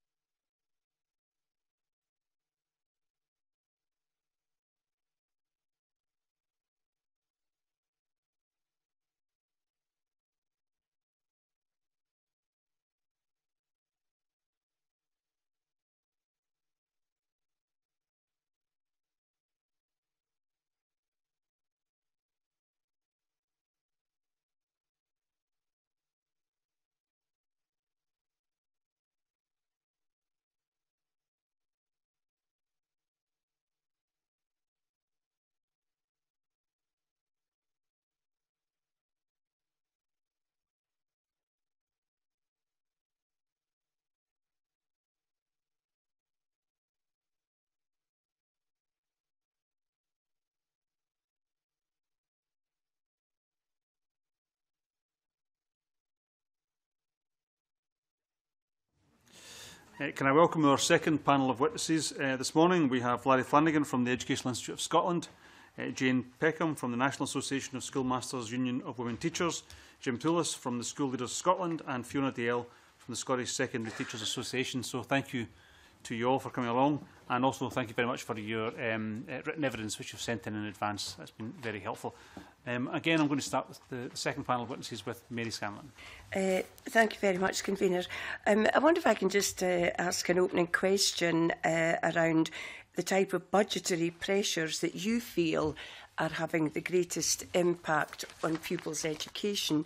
And given that our first session ran over quite a bit, I wonder if you could also, in your uh, response, uh, advise us whether you think that primary school budgets uh, are keeping on track with the increase in pupil numbers and uh, a word about additional support needs because although staff have gone up by about 7 or 8%, I've actually seen figures to say that uh, the projected increase in additional support, I think it was over 70%. So if, if you wouldn't mind, just a general question, but if you could relate it to primary school budgets uh, increasing in line with pupil numbers and uh, given that uh, there are more pupils with additional support needs, is that being addressed? Thank you. I don't mind who goes first. very much, Chair. Uh, I mean, the, the single largest item of expenditure in terms of school budgets relates to school staffing. So the you know if you're looking at where the where the pressure is, then it relates to uh, teacher numbers, uh, support staff numbers, uh, and admin support in terms of schools. Um, and I think that is where the the greatest pressure is. Um, it's it's clear from the evidence that if you look at primary schools, staff numbers are not increasing in line with the increases in terms of uh, uh, pupil increase. In secondary schools, um, again, if you look at the evidence we've provided, the, there's been a significant drop in the number of secondary teachers employed um, over the last five years. The last three years we've had a, an agreement um, since 2011 around maintaining pupil staff ratios. But in actual fact, the percentage of pupils, um, the drop in the, in the number of pupils at secondary school is less than the percentage drop in the number of teaching staff. Now, what that, what that does is it creates a pressure towards bigger class sizes. It creates a pressure towards rationalisation of timetable choices. Um, it creates the kind of workload pressure that I alluded to the last time I spoke here in terms of the, uh, the National 4, National 5 qualifications. Um, and that becomes intense to the point where, uh, you know, our teacher wellbeing survey indicated that uh, nearly 70% of teachers indicate that they're stressed all the time. Now, the reason that's important beyond concern about the teachers themselves is that that is the, the learning environment of young people.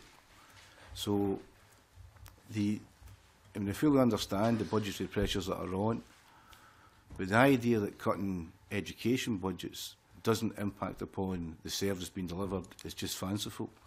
Because, you know, in a whole range of ways, it does impact. And, and, and the last point I'll make, convener, is particularly in relation to additional support needs.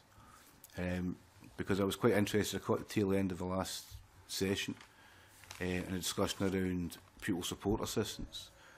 It's just undoubtedly the case that uh, over the last few years, not, not simply uh, the last three years, that one of the issues that has been central to pressure in schools has been the policy of mainstreaming pupils with additional uh, support needs, uh, particularly pupils with emotional and behavioural difficulties. Uh, and we have a very strong feeling from our members that whilst we support that presumption of mainstreaming, um, it has to be resourced properly, and it's not being.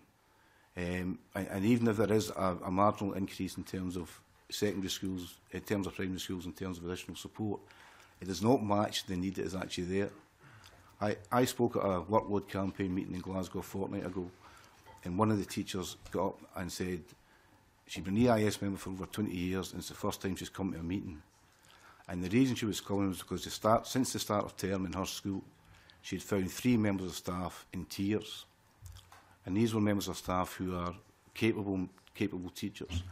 And the reason for it has been the inclusion, and these are infant classes, uh, of pupils who previously would have been in a special needs school, who have been put into the, these classes, and the teachers can't cope with the, the, the disruption that has been caused. Now, I think that's a, an issue for the, those individual pupils, and it's also an, in, uh, an issue for the rest of the class. And that, you know, we haven't got time to develop it, but that is a result of the budget pressures because special needs schools are expensive, they're labour intensive. Uh, and if you mainstream kids, you get a cost saving. Uh, but you're not providing the best education possible. So, you know, these, these cuts are hurting, particularly in relation to additional support needs. Um, thank you. I actually uh, echo much of what Larry said. In, in reverse, I'll start with the additional support needs it's it's not a question of whether the budget's increased; it's how it's distributed when it's then implemented, and that's what's causing the difficulty, because uh, different areas are using different strategies to manage the budget that they have, and although there are support staff provided for particularly working with children with additional support needs, they're very often diverted to other roles and duties uh, within the school or within that area. I mean, another example of that is the cut in um, qualified teachers in the nursery and the um, attempt to cover the very laudable aim of, you know, of 600 uh, hours for children, and no one would disagree with that. The difficulty is that they're not employing enough uh, teachers to cover that, and it doesn't fit with the teacher's contractual week. So um, our uh, members are reporting that uh, support staff who are employed to work with them to support the ASN children in their classrooms are being diverted to cover the spaces and the gaps in the nursery. So the budget isn't affected in terms of the number of people employed, but the effect is actually on what they're then tasked to do. And the difficulty, I think, although support staff are not in our membership, is that they very often aren't able to say, actually, no, that's not what my, my role is. um, and I, I see a need, therefore I'll go and I'll help out and all the rest of it. And I think it, it has to be recognised that still throughout uh, a lot of the documents they talk about efficiency savings. I mean, there are none now. There are no more to be made. Everything now is a cut, and that has to be recognised. Um, and I think that, that uh, transparency and openness is, is required. I was concerned to hear at the last session there about some kind of uh, uh, inability to share budgeting uh, openly, and that would that would cause us great concern. Um, I think the pressures are huge. It's recognised that there is a finite amount of mon money to work with, but I think there has to be a lot more done in looking at the best use of of that money. Yeah, thank you, Chair. Uh, I would not disagree with any of the points which are made either in the papers, the submissions from my, the colleagues to my left here and what they have said. But I would like to come at it uh, from a, a, perhaps a slightly different angle, bearing in mind the, my represent, the, the organisation I represent. First thing to say, in, in answer to your question, a very general answer to your question, and one of the young people picked up the last time here, is that the experience in education of young people across Scotland will be dependent very much on where you are and which part of the country you are in. And we as an organisation for some time now have been hammering on at this in inequality of funding across the, the, the country. Now, if you, we have no, got no great concern with the removal of ring fencing of funding. And if you're going to look at a, a, the opportunity of flexibility of approach across the country to meet needs across the, the, the country, yes, that is a laudable aim but it's a laudable aim which is perhaps sustainable during a time when there are not budget cuts.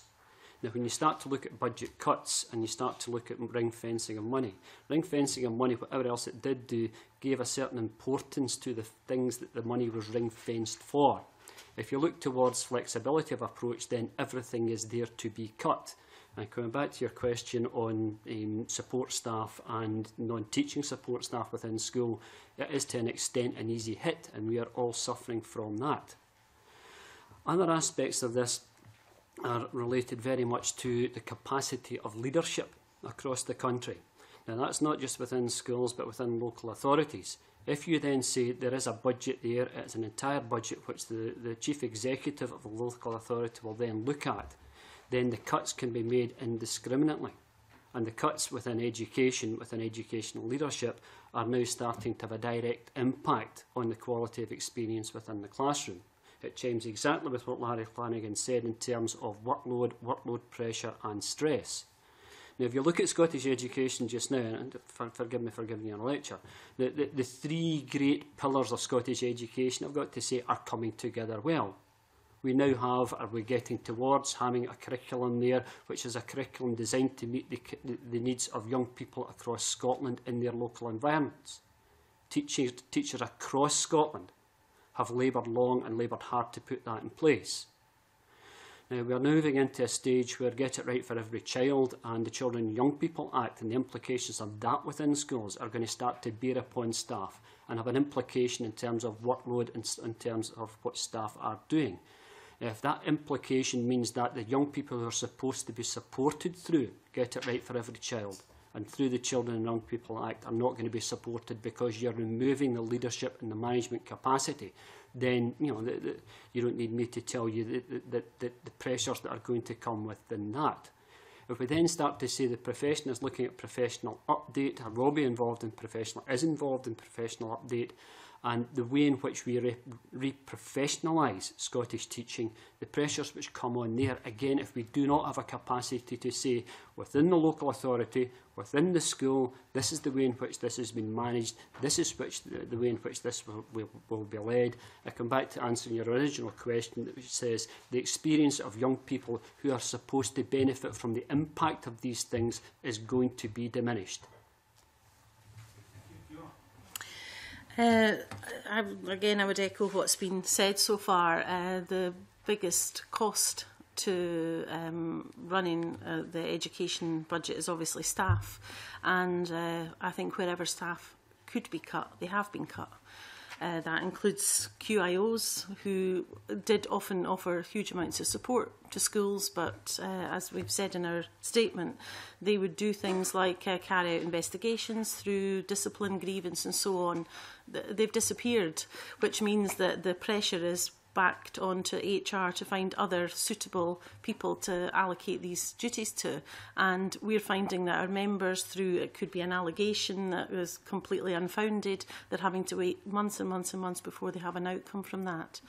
Uh, that, that obviously adds pressure and stress and can mean that sometimes people are on um, suspension, precautionary suspension at home for months on end, which is a cost to the authority.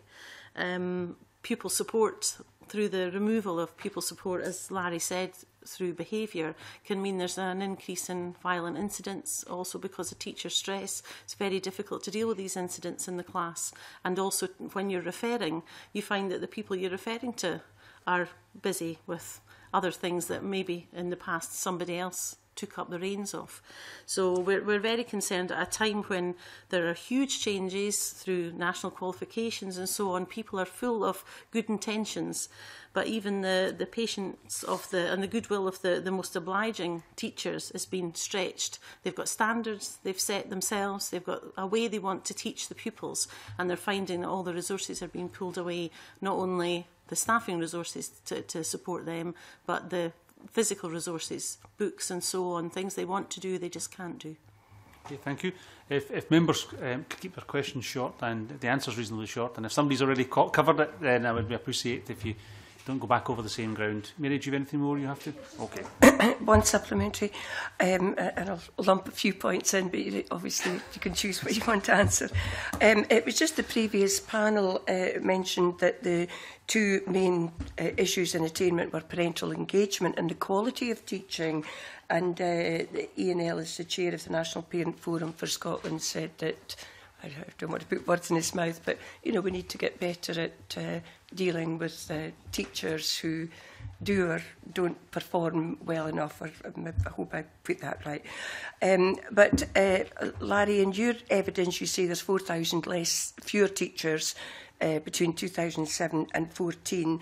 Um, also, the school estate. Uh, according to the Audit Scotland report, 18% of the school estate and poor or bad condition, no consistent approach to tracking and monitoring progress from pupils from P1 to S3. So it's really, do we really know enough about, you know, can we compare like with like? And uh, also the Audit Scotland report, no independent evaluation on how much councils spend on education and what this delivers in terms of improved attainment and wider achievement. Um, so I, I think I'll probably just leave it there. But these are the issues that are concerning me, apart from centrally employed teachers are up by 400 and uh, teachers in preschool education down by 12%. So I'm trying to make sense of all these figures uh, and looking at attainment as well and to ask you, you know, I've Audit Scotland got it wrong because they seemed, they just found it impossible to look at the spend and what that delivers in terms of attainment. So is there some magic bullet there that we perhaps don't know about? Um, I'll just leave it there for you to choose. These are my main concerns, so whatever. I'm sure it is. I'm sure it is, yeah. Um, I'm going to start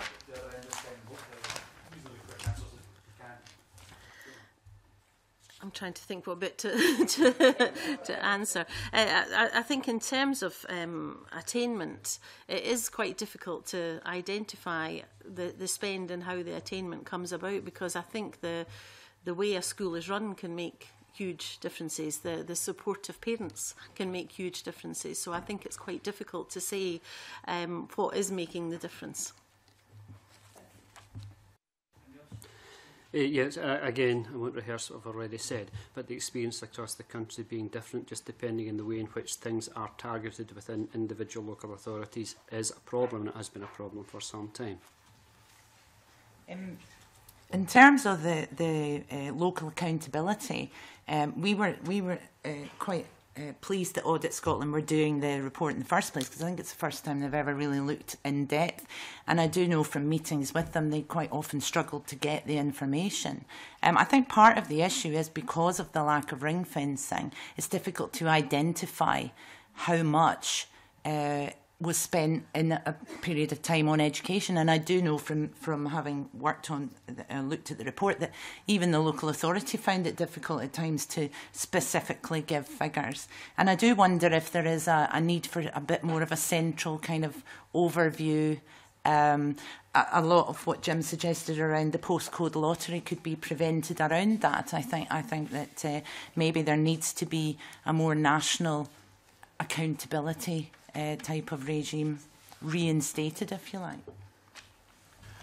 The, there used to be uh, a poster which was popular in schools, um, late 80s through the 90s, which said, not, not everything which counts uh, can be measured and not everything that's me that measured counts or something like that. You, you get the idea. It was, it was the notion of, uh, this was when we were focused on targets constantly, it was the notion that there was more to education than just measuring uh, targets.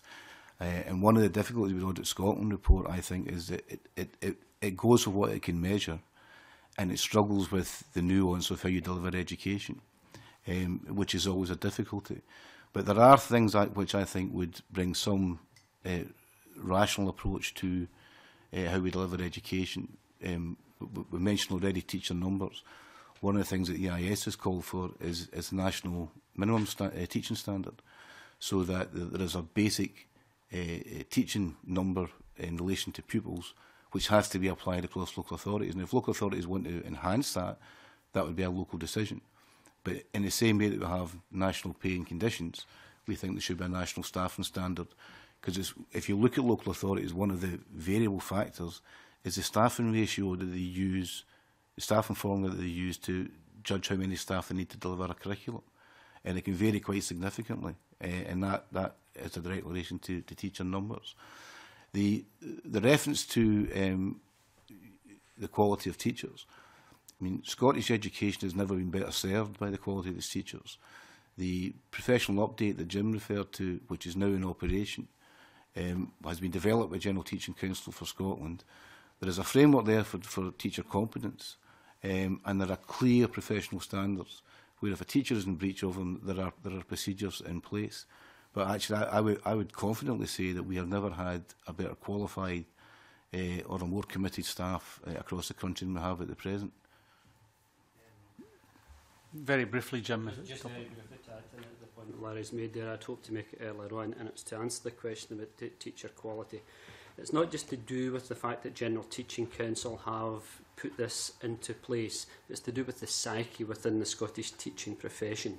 And we've now had over 12 years now of NQTs coming into the profession, trained in a certain way, viewing the job in a certain way, and to them the whole notion of professional update is just a natural extension of the way in which they've been brought into the profession. Thank you. Uh, Gordon, did you want to come in here? It's a very quick question. Um, I asked this question of the, the earlier panel, and it was suggested by them that I ask yourself. So, uh, so well, you know, it's straightforward anyway. Um, Scottish Government during the summer introduced the Access to Education Fund to specifically help pupils from disadvantaged backgrounds. And I'm just wondering about what's the level of awareness in schools about that fund and what's the uptake in, in your view? people. I'm not sure the level of awareness was that high. I know that we um, did try and raise uh, the profile of it, but I think the timescale came to, it came to us quite late, and, and I think that I'm sure an email went out and they literally had a couple of weeks to to get bids in. So I think I would have been concerned about maybe the timescale of the announcement and when the actual bids were due in. Yeah, the, the timing was not good. The timing was yeah. not helpful there are a number of initiatives on the go in terms of closing the attainment gap, the school improvement partnership, um, which had funding of I think a million pound uh, over a three year, and these are all worthwhile projects. Um, I, I've just finished reading a report which is based on the an evaluation of the London Challenge, which is credited with uh, a huge increase in performance of of London schools it, was resourced by literally billions of pounds. Mm. Billions of pounds. So whilst we would never oppose any of these initiatives around uh, tackling the impact of poverty, mm. uh, you know, the, they, are, they are just papering over the cracks because unless you invest the type of resource that you saw in the London Challenge, then you're not going to get that kind of systematic change which is necessary to, to address the levels of poverty we have in Scottish society. 20% of Mm-hmm. kids at schools coming from what is de defined as absolute poverty. So you know that, that there's a huge barrier there, and and I don't I, I don't think that our current funding formula in terms of local authorities gives adequate weight into the the issue of, of poverty in terms of uh, councils. I mean, back when I, when I was a councillor, back when we had Strathclyde Region, I think there was a much greater attempt then to redistribute money to areas of priority treatment, as they were referred to then.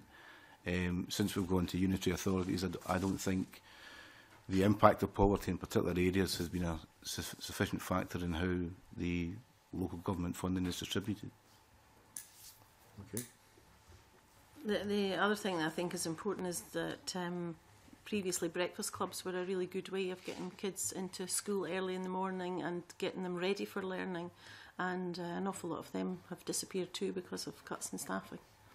Okay, thanks.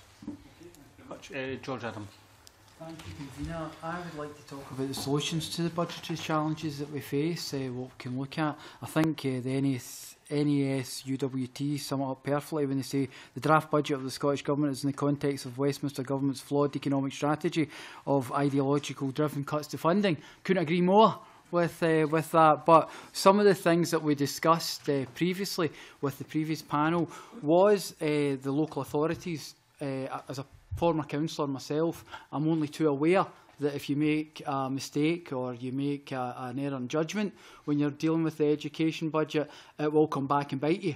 You know, because the parents and the teachers will uh, tell you exactly. Now, surely I, I would learn, I've learned from that, the engagement with teachers, parents and pupils is probably the best way forward with the budgetary uh, side of things. But we've heard from some of the parents groups that that's not happening at a local level. And I would have said probably that would be the way forward to ensure that, look, what do you need? How, as the professionals that are delivering education, what in this challenging time do you need to, the tools to do the job correctly? Now, how do you feel that's happening across the nation, or is it happening, or just like the, the parents groups and the youth representatives saying that it probably isn't? I mean, I think there are a few different challenges uh, in there. Um, for example, uh, I heard the Cabinet Secretary when he was here a few weeks ago say that he uh, wished to maintain teacher numbers. In, if, in fact, he would expand them if it was possible. Um, and that was welcome. But we now have a, a working group which is looking at setting aside the national agreement on protecting teacher numbers.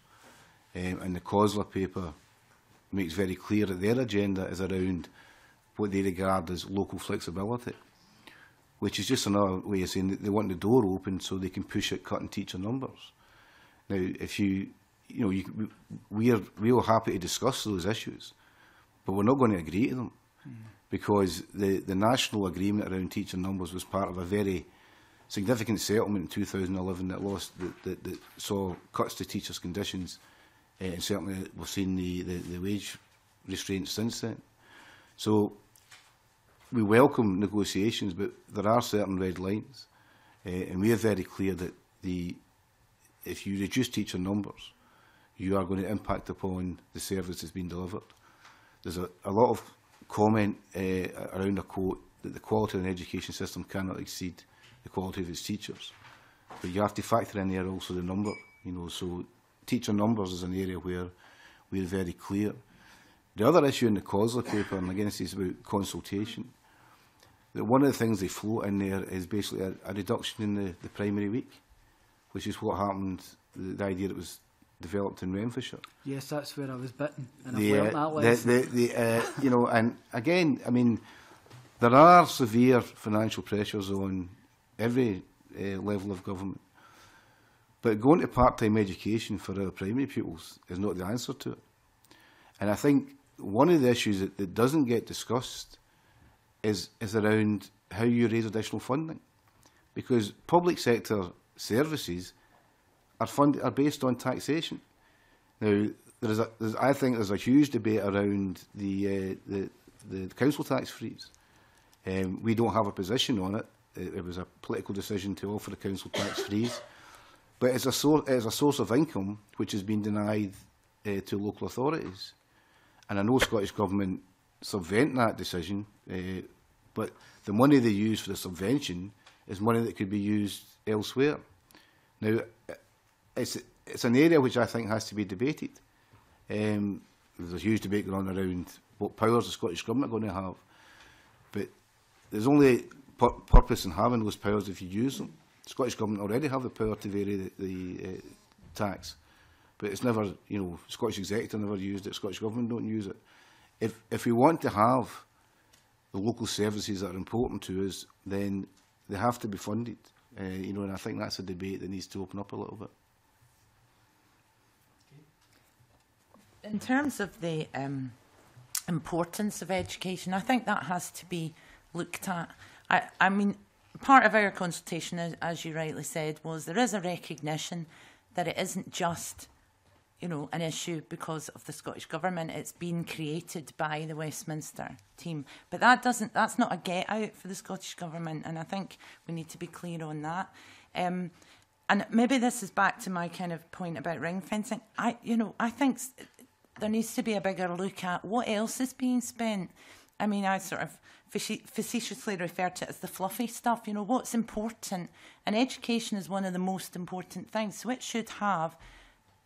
the most amount of money, and health, obviously, and other things. But, you know, how much are councils spending on things that aren't actually necessary? To come back to the engagement with parents, um, We did a, a survey which was not Scotland specific, it was the rest of the UK because it was in particular focus on the uh, issues they had with their own uh, education crisis there.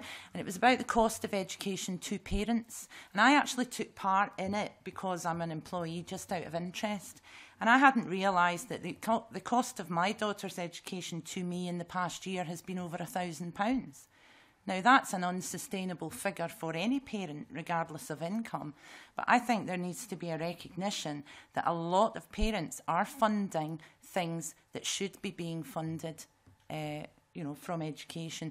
Musician tuition, for instance, there's another uh, ad hoc arrangement. Some authorities provide it free. We have to pay for it in, in my council. And all of these things have a knock-on effect. And so it's technically that's a saving, but where has the money gone that, that parents are now contributing to? Um, because it's not going into education, it's, it's being used elsewhere. So I think we need to maybe look at readdressing the focus in some way. Okay, Jim? Okay. Uh, to, to come back to your, your original question, you cannot, regardless of what system it is, whether it's education, health, or whatever, any other system which is publicly funded, keep putting increasing demands onto it and expect those demands to be met by the same or a decreasing sum of money to do it. If you go to any teacher and ask them, you know, what would you need to be able to do this, they will tell you, and it's been the same ever since I came into teaching, I need time or I need money. Now, essentially, both come down to money. So you cannot keep putting into the system more and more demands on people and expecting the quality and the outcome to keep going up if you do not support them and sustain them and be able to do that. Coming back to you know, local authority and local authority funding, I think I started off by saying ah, I've got no great, well, my organisation, has got no great complaint over the whole notion of doing away with ring fencing. I know working in Dundee, that five miles up the road in Angus, the demands on education in Angus are going to be different from the demands in education within Dundee. Hence, the local authorities have got to have some sort of flexibility, some sort of wriggle room to be able to meet and address the demands which are specific to their area, very different across a, a local authority boundary. So surely there must be some kind of look at saying, okay, within Scotland, there, are some, there is a set of parameters there which says within these parameters the service must be delivered and your local authority have got the opportunity to be able to deliver something which better meets the needs of the young people in your area rather than having it sort of tied down into sort of separate compartments where we all know when we got to the end of the financial year you had to sort of justify things and shift it around so you could get it spent. That was obviously daft as well. Let's look at parameters within the funding formula, within the staffing formula formula which lets local authorities and schools better meet the, need, meet the needs of their own pupils. Uh, we, I must say we feel exactly the same that although the central government clearly uh, allocate a certain amount of money to the Scottish government, the Scottish government does have some um, choices it can make itself. But uh, I feel that uh, in professional associations, we feel that we're defending our members' uh, conditions of service at every turn. And in fact, teachers are quite often seen as uh, a barrier uh, and as a cost rather than as you know people that go out there to teach children and, and trying to do the right thing. Uh, I know that maybe in, relatively speaking teachers can seem expensive but they're very well educated, very well meaning, well intentioned, who people who give a huge amount of their own time and including their own money. We know that teachers buy sometimes their own resources. They want to have a certain standard in the classrooms and they will back it up with their own money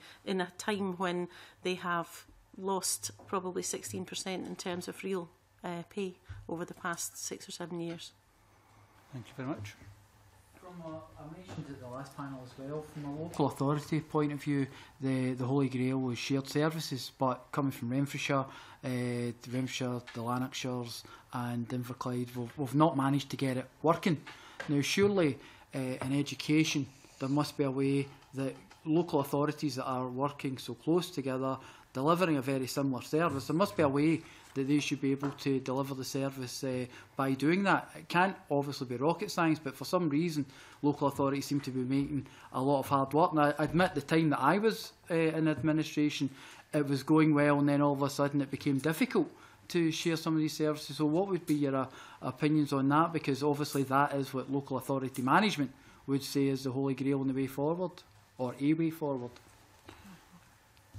I think one of the I think there has been very poor progress in terms of shared services. Um, but one of the issues, I think, is around uh, the different corporate identities of different local authorities.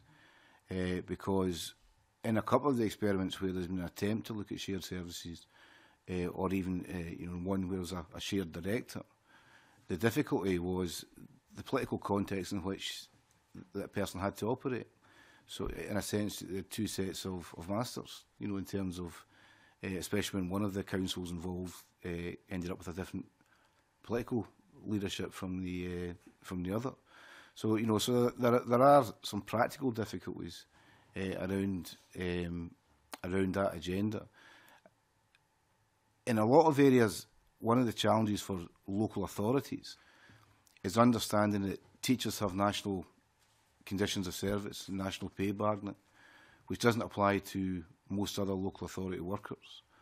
Um, and because of the statutory nature of the education service, there are, there are things which corporate directors can't do in education, uh, which I think some of them find is a, a frustration uh, because one of the agendas in the bigger authorities like Glasgow that we are constantly fighting is the, the corporate approach to education um, which is largely predicated on cost savings, but actually ends up with a poorer service. And if you look at supply teachers, for example, is a perfect example.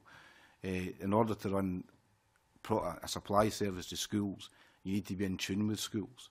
If you try and run it just as a personnel function, you end up not meeting the demands of the schools. So, you know, I, I, I, I agree with you that there is still great potential around the shared services agenda. But I think the difficulty, the difficulty doesn't lie, doesn't lie, I think, in terms of the teachers in the classroom.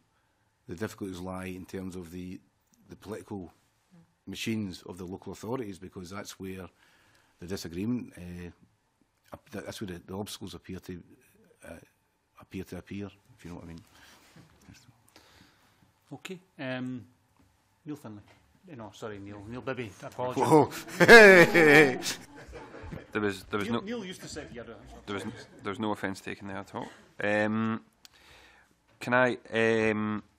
ask uh, about about workload issues and, and teacher numbers? Um, I think um, you've all raised concerns about teacher teacher workload. I think um, EIS have referred to the workload crisis. NESUWT have talked about a ticking time bomb in relation to uh, workload issues. Um, Larry's already mentioned what the Education Secretary said last time he was at the committee in terms of his um, his statement about wanting to maintain, if, uh, and if possible, increase teacher numbers. Um, we had the budget, and obviously this is budget scrutiny today. We had the budget a couple of days after that, and uh, Mr. Swinney did not mention anything specifically about teacher numbers in his uh, in his statement, and um, I've questioned him on that uh, at the time. Um, you've obviously mentioned what's happened since the the budget. Um, can I ask you, is, is there still an expectation from yourselves that there should be an increase in teacher numbers uh, following the uh, cabinet secretary's statement? And you know, we've talked, about, we've seen statistics around a, you know, several thousand fewer teachers over the past uh, number of years since 2007. Is there a, a, a figure? I appreciate there's there's other issues around workload, around bureaucracy, etc. But obviously teacher numbers is a, a critical issue. Is there a number of additional teachers that are needed um, in our education system to help uh, address that workload crisis uh, that, that has been discussed? So I'll, I'll start along here, Jim. Okay, I'll come, come back to something which I mentioned already. I'm, I'm quite sure my colleagues around me will pick up teacher workload crisis. I want to pick up the school leader workload crisis and school leader number crisis. In that over the, the past six or seven years, there's been a significant reduction in leadership capacity within schools, a time when workload, capacity, or workload is increasing and in increasing enormously. There's a huge issue around about career progression and senior, senior, senior leadership within schools people are looking at it and saying, you do I want to take on a head teacher's job, a deputy's job, if that's what it's going to involve? So there's a, you know, my organisation has got a, you know, a quite significant concern round about that. And you know, come back to the whole notion of guidance teachers, for example, and the way in which they're are being expected to operate within the new structures which are coming along. Again, an increasing pressure with a de declining number of people within guidance structures within schools. So leadership capacity is a major issue. It's exacerbated by the removal of leadership capacity at the centre within local authorities. Removal of education officers and curriculum support officers and so on pushes that back onto schools to be done. It is a major and increasing issue. And the whole notion of the job sizing toolkit and the inappropriateness of the job sizing toolkit to support senior leaders in the way in which they are paid in relation to the workload which they take on is an ongoing and an increasingly overbearing issue within school leadership in Scotland. Fiona? Uh, yeah, in, in terms of teacher numbers, I think one of the biggest advantages would be if we had a better supply of supply teachers. Uh, and I think it's been extremely difficult to encourage people to put their name on the list. The pay is not as good for a couple of days. The, the jobs that are advertised tend to be temporary nobody's going to give up a permanent job to, to go for a couple of days a week to a particular school. The knock on effect of that is that things like CPD or career long professional learning doesn't happen. You know, you may be booked on a course to, to bring up your subject knowledge and there's nobody to cover your class. So what, what choice do you make? You stay in the school and you give up your professional learning. So in order to allow the capacity for staff to maintain their professional update and to maintain the standards that we want, we need to encourage uh, people into teaching by making sure it's a profession that looks attractive, that doesn't look as stressful as it looks at the moment, and that the, there's good career opportunities. The, the change in uh, the structure through doing away with subject specific principal teachers has had a knock on effect. You could have a, a newly qualified teacher going into school now who uh, doesn't have a subject specific line manager. It's very difficult to develop that if you happen to be a one um, person department. So the, the structure doesn't encourage that movement upwards either. So um, I, I think in terms of budget, we, we just need to have another look at what, what's available and the support that's given in that department. Thank you. Jane? Yeah, following on from both Jim and Fiona, actually the, the, the cuts in uh, leadership uh, and, and middle management have had a really massive impact on teacher workload because where they're taking away the principal teacher role, um, or where there's a shared headship uh, scenario in rural areas or wherever, which is not a, a concept that we are against, but the workloads that would have normally been done by that person falls to the class teacher and it increases their workload and they're not being paid for it either. So I'm, I think I find it very difficult to sit here and give you a number, Neil, because it would probably be completely out, out with the realms of possibility. But I think uh, there, there's it's about the redistribution of the posts that are available. And that varies council to council as well, depending on their situation. So where a council can say, well, we've got X amount of teachers, I think the real impact is in what type of teachers they have, what roles the teachers have, uh, how much uh, provision they have for support staff and supply staff. So it's you know a whole uh, ream of things rolled into one that have the, the impact. The agreement that was reached in 2011 around teacher numbers was that teacher numbers would be maintained in line with um, uh, pupil numbers. And there was a mechanism put in place by Scottish Government whereby if local authorities didn't uh, maintain their specific number of teachers, there would be a clawback of roughly £40,000 for everyone who were below that. Now, there was some flexibility around different authorities, how you produced the overall figure. Um, but that, that direct connection has actually ensured that over the three years, or over the two years that it's operated so far, teacher numbers have been largely maintained. Some authorities have gone up a little bit, some have gone down. And we'll know uh, this December whether it's been maintained for this current year. What, what was proposed in the budget was that that, that penalty would be suspended uh, for 2015-16, but it's predicated upon discussions involving the teacher trade unions around COSLA's agenda for an outcomes-based uh, system of, of measuring, you know, education delivery. We are prepared to have those discussions we're, we're very clear that, and it's almost back to the Audit Scotland, there are some things that you should be able to measure uh, that are useful benchmarks. And from our point of view, teacher numbers uh, is one of the benchmarks in terms of uh, education spending. Uh, there should be an increase in the primary numbers because of the increase in role. Uh, if, if that increase isn't there, it means you have bigger classes uh, and the impact that that has on teaching and learning. Um, there might there might be expected to be a decrease in secondary, but one of the difficulties with secondary staffing is that you have to maintain a level of staff to deliver curriculum choice. So you know that it's it can be complicated in terms of how it's worked out. But, but certainly we were I, I welcome the uh, cabinet secretary's commitment on teacher numbers, um, and we are very clear that from an EIS point of view that is one of the litmus tests in terms of the acceptability of the budget, that we do actually have uh, agreement on maintenance of, uh, of teacher numbers, at least in line with pupil roles. Yeah. And in terms of an increase in primary teachers, is there a, a number that you think that the, Scottish Government should be looking at in terms of an increase in te uh, teacher numbers for primary schools, given the increase in primary school roles? No, no and uh, again, it relates to uh, one of the issues around the budget discussions is that there's been a request that local negotiating committees have a look at this issue because it does it, the, inc the necessary increase will relate to local circumstance.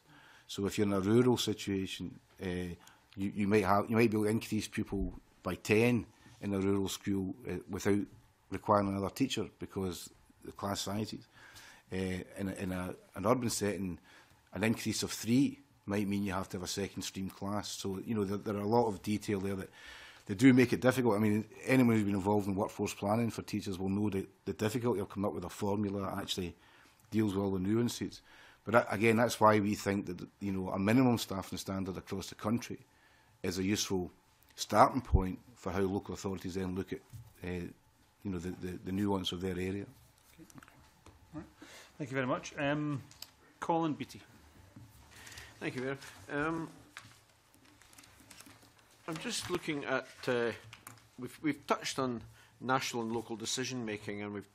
sort of skittered around ring fencing and so on. And it's true the Scottish Government provides the block grant to local authorities, but within that, a great deal of the budget is actually decided nationally, i.e. the teacher salaries.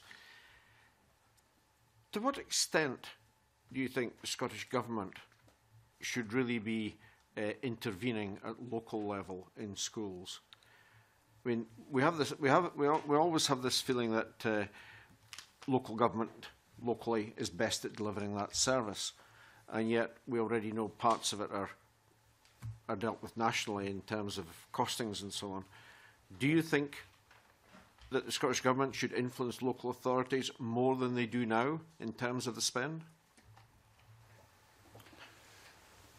Larry. I, I think uh, it's a $64,000 question, really, isn't it? Um, the, I, I think the primary role of government in terms of education is around policy, so that we have a coherent curriculum framework across the country.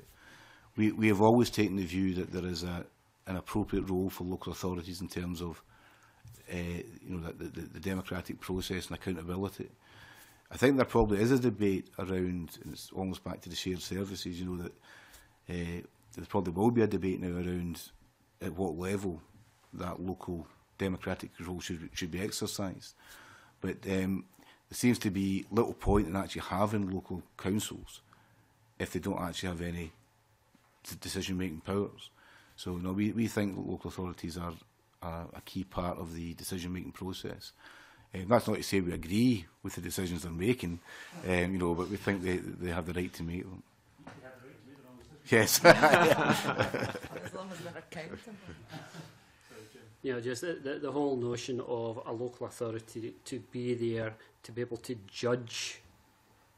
the needs of the local community and to be accountable for the way in which these needs are met is crucial to the democratic process. Yes, central government gives a steer. Yes, central government sets the policy. And just by the nature of things, and you know, they are in charge of the, the national finance. And the large chunk of what is paid for is teacher salaries. Yes, central government has got that, that, that sort of impact as well.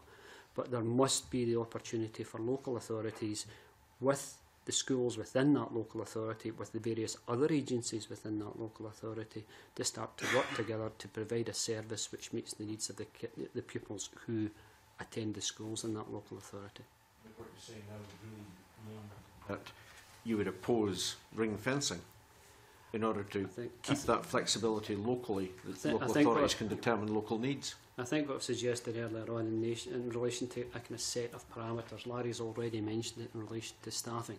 It's not beyond, beyond having a kind of set of parameters. Do away with, not have the ring fencing as such, which was very, very restrictive.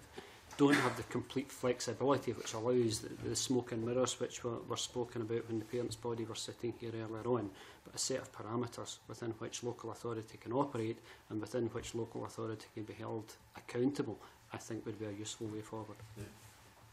Just on the ring fencing, a good example of ring fencing was there used to be additional money came from Scottish Government around uh, English as an additional language, and, and that money was specifically for that national priority around supporting English EAL. And it meant in Glasgow, for example, old Glasgow funded to the tune of six million additional EAL services. It had a core funding from Scottish Government. And when the staffing formula, staffing uh, complements were being worked out in schools, that Scottish Government element was untouchable because it was ring fenced to that service. One of the things that's happened with the removal of ring fencing is that that, that additional funding is now just part of the, the local authority budget. And one of the consequences has been a cut in the EAL staff in Glasgow City Council. So eh, I think I think in certain areas ring fencing uh, is is desirable and, and is is an acceptable mechanism for for Scottish government to use where it is driving a particular policy issue.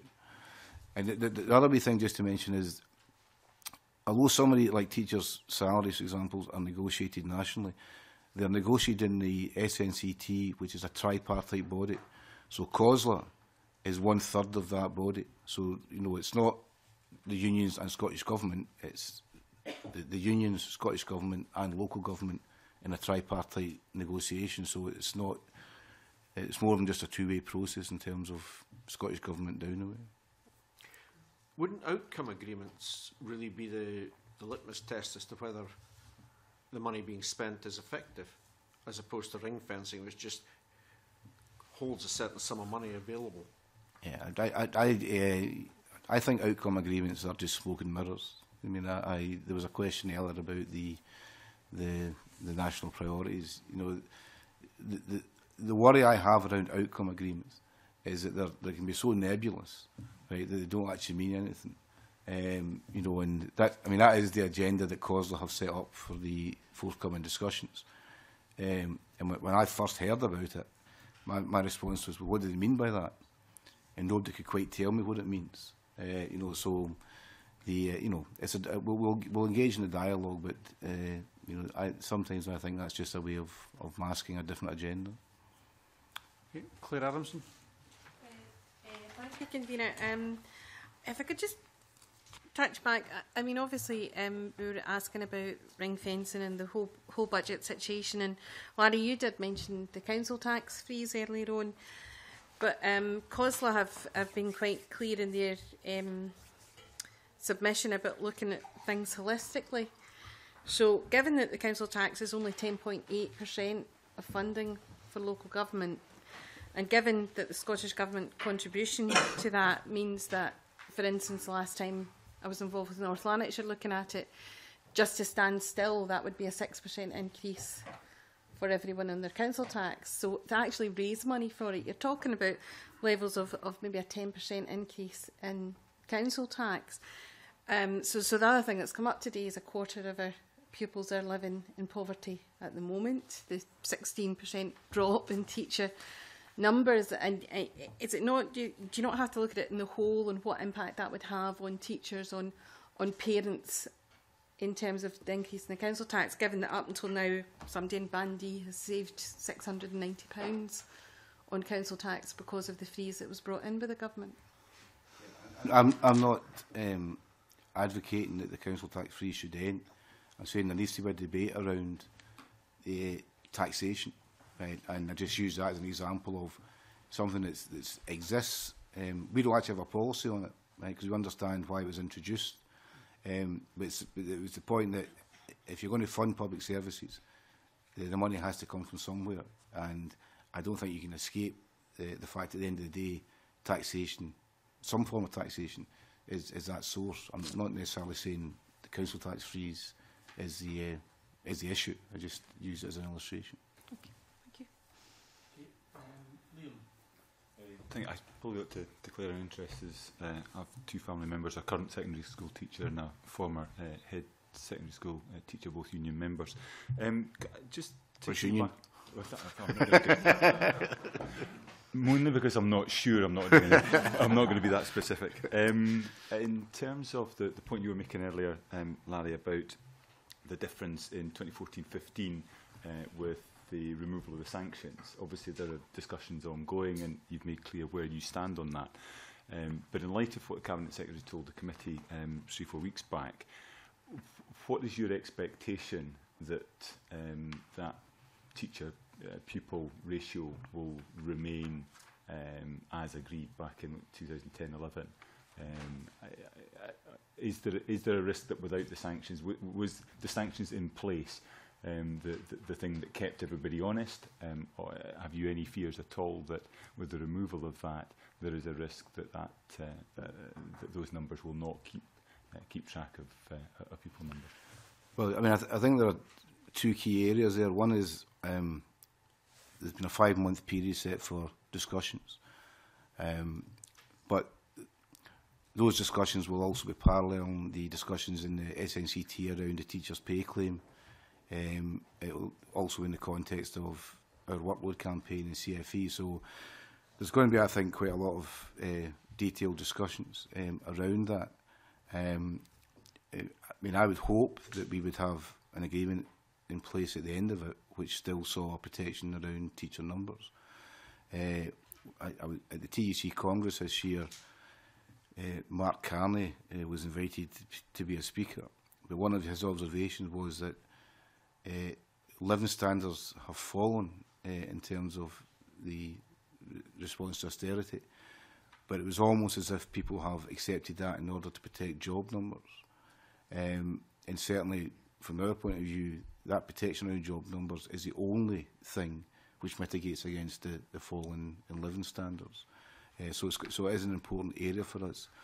The other side of it um, is that although we have this protection around the 2011 teacher numbers, and I think Jane uh, referred to earlier, that, you know, there, there's not much more to cut.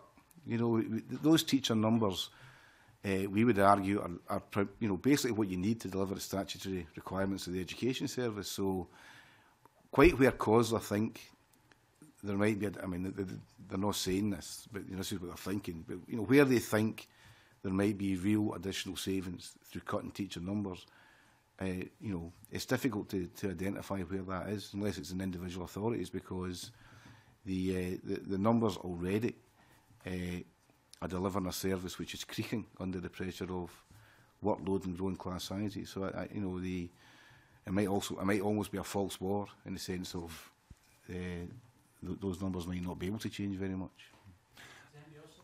Comment on that? Yes, Fiona. Mm. Uh, in terms of teacher numbers, I think the, the effect certainly in secondary schools is that um, because of the subject choices, subjects can be put in a particular way where it's difficult for pupils to choose them and that's what we're finding subjects are dropping off the end uh, mm. which means that maybe the school can say well we don't need that teacher anymore because in fact nobody was choosing the subject but if we want pupils to have a broad education and lots of choices, then we have to sometimes maintain classes where there may not be a huge number, but it's necessary in order to, to maintain the pupils' education to give them these choices.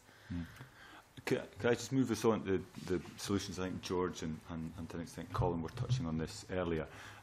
If there were any easy solutions, mm -hmm. to some extent we might not even need to invite you here to give us some answers. But um, uh, we've we've heard um, Larry you talking about the, the council tax, then Claire explaining how this was very difficult and and, and wouldn't be terribly pleasant. Um, in terms of uh, shared services, there's issues around um, democratic deficits at a, at a, at a local level.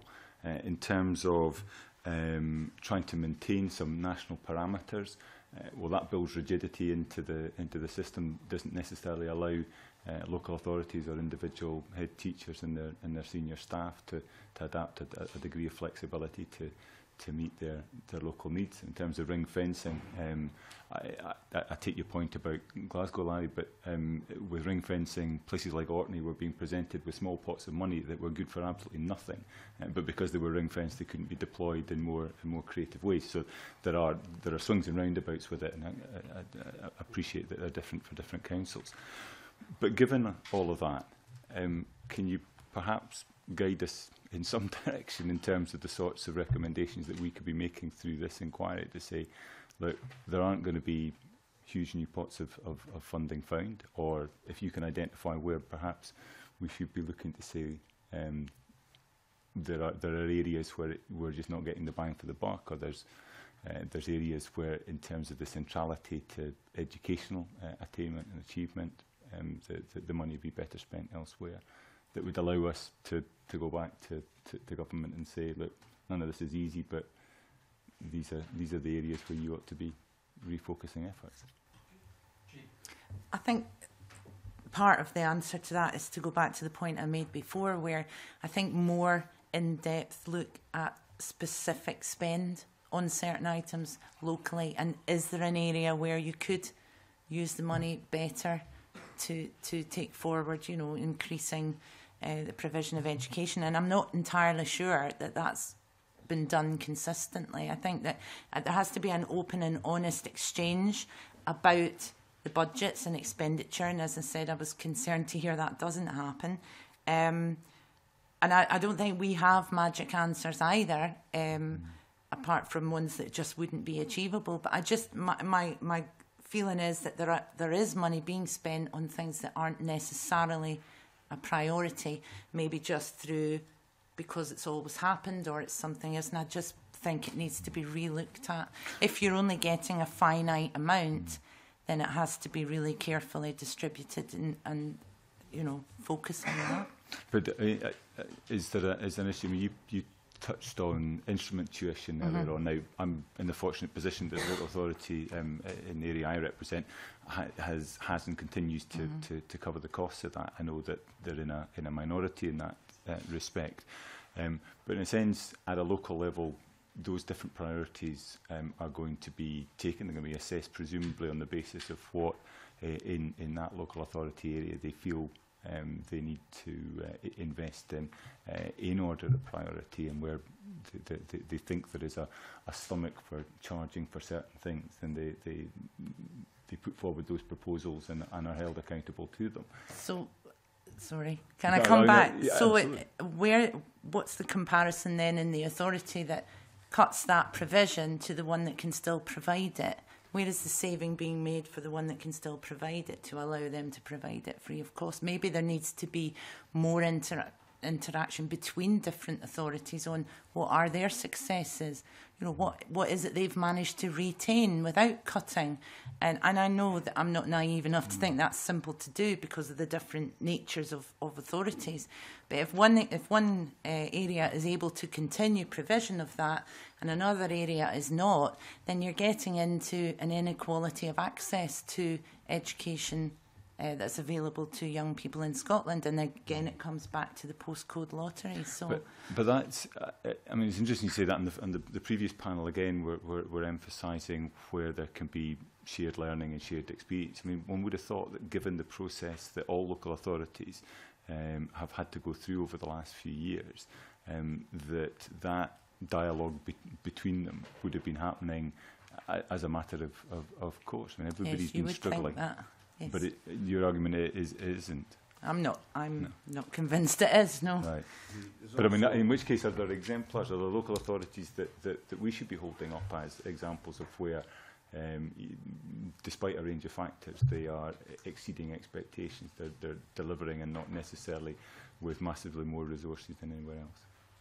Can I just, on the back of that question, I think so it's, it's another angle to the same question. You mentioned, Eugene, a couple of times now about earlier on. You said sp local authority spending on fluffy I services. Think, yeah. um, and um, just uh, a moment ago about in terms of spending on areas which are maybe of less priority. Could you give us examples of what these areas of less priority or fluffy services are? fluffy is the wrong terminology. It's just my own personal one. I mean, if you think across authorities, even about um, what what do they spend on uh, projects uh, for the arts? What do they spend on the types of wheelie bins they provide to the people that live there? You know, uh, each authority's got a different arrangement for that. What's the cost implication? It's about are they taking um, teaching jobs and redistributing them to support staff uh, in order to make cuts there. It, it, it's about the exchange of what they're doing and the, and the, the importance of what they're doing. Um, I mean, leafleting that you get through the door from the council about certain things, is there a need for that? You know, and, and I know that that's not all directly interlinked, but I just think the whole wider funding issue needs to be looked at. And if we cannot afford to do something, and I know it's been done, and that's my point about there aren't any more efficiencies to be made. It is cuts now, and maybe that has to be the honest response is, you know, we're not looking at efficiencies, we are cutting. So I just think it needs to be, and, and, and to come back to Liam's point, I don't think there's an open exchange across authorities in, in different scenarios where we've been see seeking advice on uh, the way that notice pay is made in different authorities. There's a varying, massive varying level of responses from local authorities as to whether they'll share information or not. And so maybe there is work for uh, them to do, but that's not for us to do. Aye. Um, two points. The SEC in its consultations with the Finance uh, Secretary has consistently identified the uh, small business grant that government gives uh, as something which doesn't create any jobs uh, and is a pot of money which could be used to support public services. Um, the SEC would probably have an internal disagreement about where you redirect it to, but I would certainly be arguing for um, Scottish education. So there are macro decisions that are made around the amount of money that's spent. Um, there's been a commitment this year around the Woods Commission, the Wood Commission, uh, which we welcome because there's no point in having the commission if you're not going to resource it. But uh, there again has been a decision taken to support that particular thing. Now there are there are projects on the go in Scottish education which are worthwhile but you'd have to say are they are they re, are they actually realisable? Um, one plus two language initiative. Nobody has any disagreement with it in, in, in real terms. Has it got any chance of succeeding in the next five, ten years? Absolutely not, because the level of resource that's required to turn that into a reality is flying in the face of the discussion we're having here around the you know the context of which Scottish schools are operating. Um, I, I'm now five minutes late for a a meeting on the taxing bureaucracy working group. Um, and and one one Five of the minutes well spent, Larry. but one but one but one of the points we've been one of the points we've been saying uh, in that group is that schools have to pick their priorities and do those priorities well. And it might mean not doing something that you actually would like to do and you see as worthwhile, but you just simply don't have the time to do it. Uh, and I, I, I think there is an issue there around, you know, we, we tick all the boxes in terms of where we're going forward. But we can't afford to fund them all properly, so we fund them a little bit, so we've ticked all the boxes. And maybe we should just focus on, on the key things. And, and the last point, convener, is I, I, I think there is a debate around, again, back to the, the, the shared services agenda. Do we really need 32 education directorates across the country? Uh, I, I, I simply asked the question. Thank you. I'm, I'm going to bring in Jane the final question. Uh, we'll get everybody to answer, and if there's anything you need to pick up then, uh, please do so. Jane. I asked the previous panel to comment on the statement from ADES that due to sensitivities involved, the reality is that draft budgets are now kept largely confidential, and, and the members of that panel made reference to being all about elections and um, local authorities and, and governments keep things quite close to their chest and then pull rabbits out the hat when it comes close to an election. Do you think there's any ways that we can broaden out that accountability? Obviously, that is an accountability through elections, but are there other ways that those involved in school education could, could be held accountable, perhaps more at local level? And are, are there other stakeholders that need to be involved, or is it teachers, COSLA and councils? Who else should be involved in that mix? I, I'd have to be honest to say that eh, eh, at a local level and even at a national level, um, from an EIS point of view, we do feel that we are consulted on on these major issues, and we do have a, a contribution to make. Um, I, I think some of the sensitivity goes down to local, uh, local level, and it's where uh, a, a possibility becomes a probability just because it's been articulated. Um, I mean, directorates, education directorates used to be very good uh, when they, uh, looking at their, their budget cut options, of throwing up stuff that was totally unacceptable, just to make sure it was totally unacceptable the danger I've got now is if they put anything up, it might actually happen. Uh, so, you know, I can understand the level of caution because, uh, you know, from a, representing uh, workers in the, the public sector, you, you don't want to see uh, budget cuts being presented uh, which are going to uh, unsettle people in the workplace. Uh, so, so that is a difficulty. But I think there's a, just a real challenge here for local authorities in terms of how they uh, communicate with different representative groups. Um, I think if you are a representative group, there's an onus on you to, to uh, act in good faith, you know, and uh, if your confidential information is shared with you, that's the basis it's shared with you. Um, I do think just putting everything into the public domain isn't necessarily the best way of conducting what can be quite sensitive, difficult negotiations.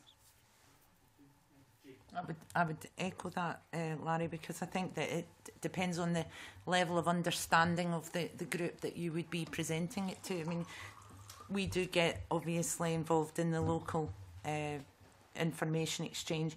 I'm thinking, you know, if that was rolled out to every householder in in whatever area, are they going to actually understand the nuances of the decisions that are being made, and is it actually relevant to, to what they need to know? So You know, I think that the level of engagement that exists is, is adequate, but I think as long as it, it's an open exchange and not, you know, a, a, a, the rabbit out the hat analogy, I think, is potentially true in terms of elections, but it's more fluff. I like a bit of fluff, yes. but I'm not sure that's the, the deliberate agenda at all times. I just think, you know, if, if the question is asked, I think that's what I'm trying to say, if the question is asked through whatever means, then the answer should be given. I think the difficulty sometimes is the speed at which the response comes makes it difficult uh, in the long term. Thank you. Uh, Jim? I don't do fluffy. I could have guessed that. so, um, just to come back, it's perhaps taken off know, uh, put a wee bit of meat in the bones of, of Larry's point. It's perhaps not the best choice of words from from ADES, and you know, it could have been phrased in a different way. I would suggest. But if you get to a situation now within the discussions which are happening in relation to cuts, it's not perhaps the best way to go about things to, to throw everything into the public domain. If, for example, you're starting to look at the school estate and the closure of schools and the delicacy with which that has got to be done, it's just one example of, you know, let's look carefully at what we are going to do and let's look carefully at the way in which we're going to share that with people. As I say, I don't think the wording was perhaps the best in the world. thank you. And Fiona. Uh, I think the difficulty about uh, holding people to account is, is again, believe it or not, to do with workload. I think there's a lot of people could contribute an awful lot, but by the time they, they come to code to a meeting, they don't have the time, the energy, they've got other commitments and so on.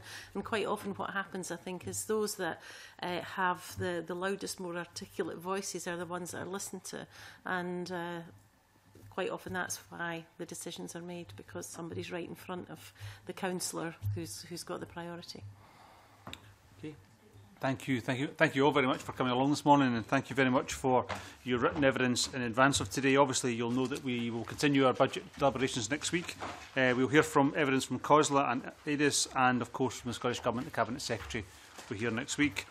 Um, and I'm delighted, Larry, you can now go to your meeting on bureaucracy. Um, uh, that concludes our business for today, and I close the meeting.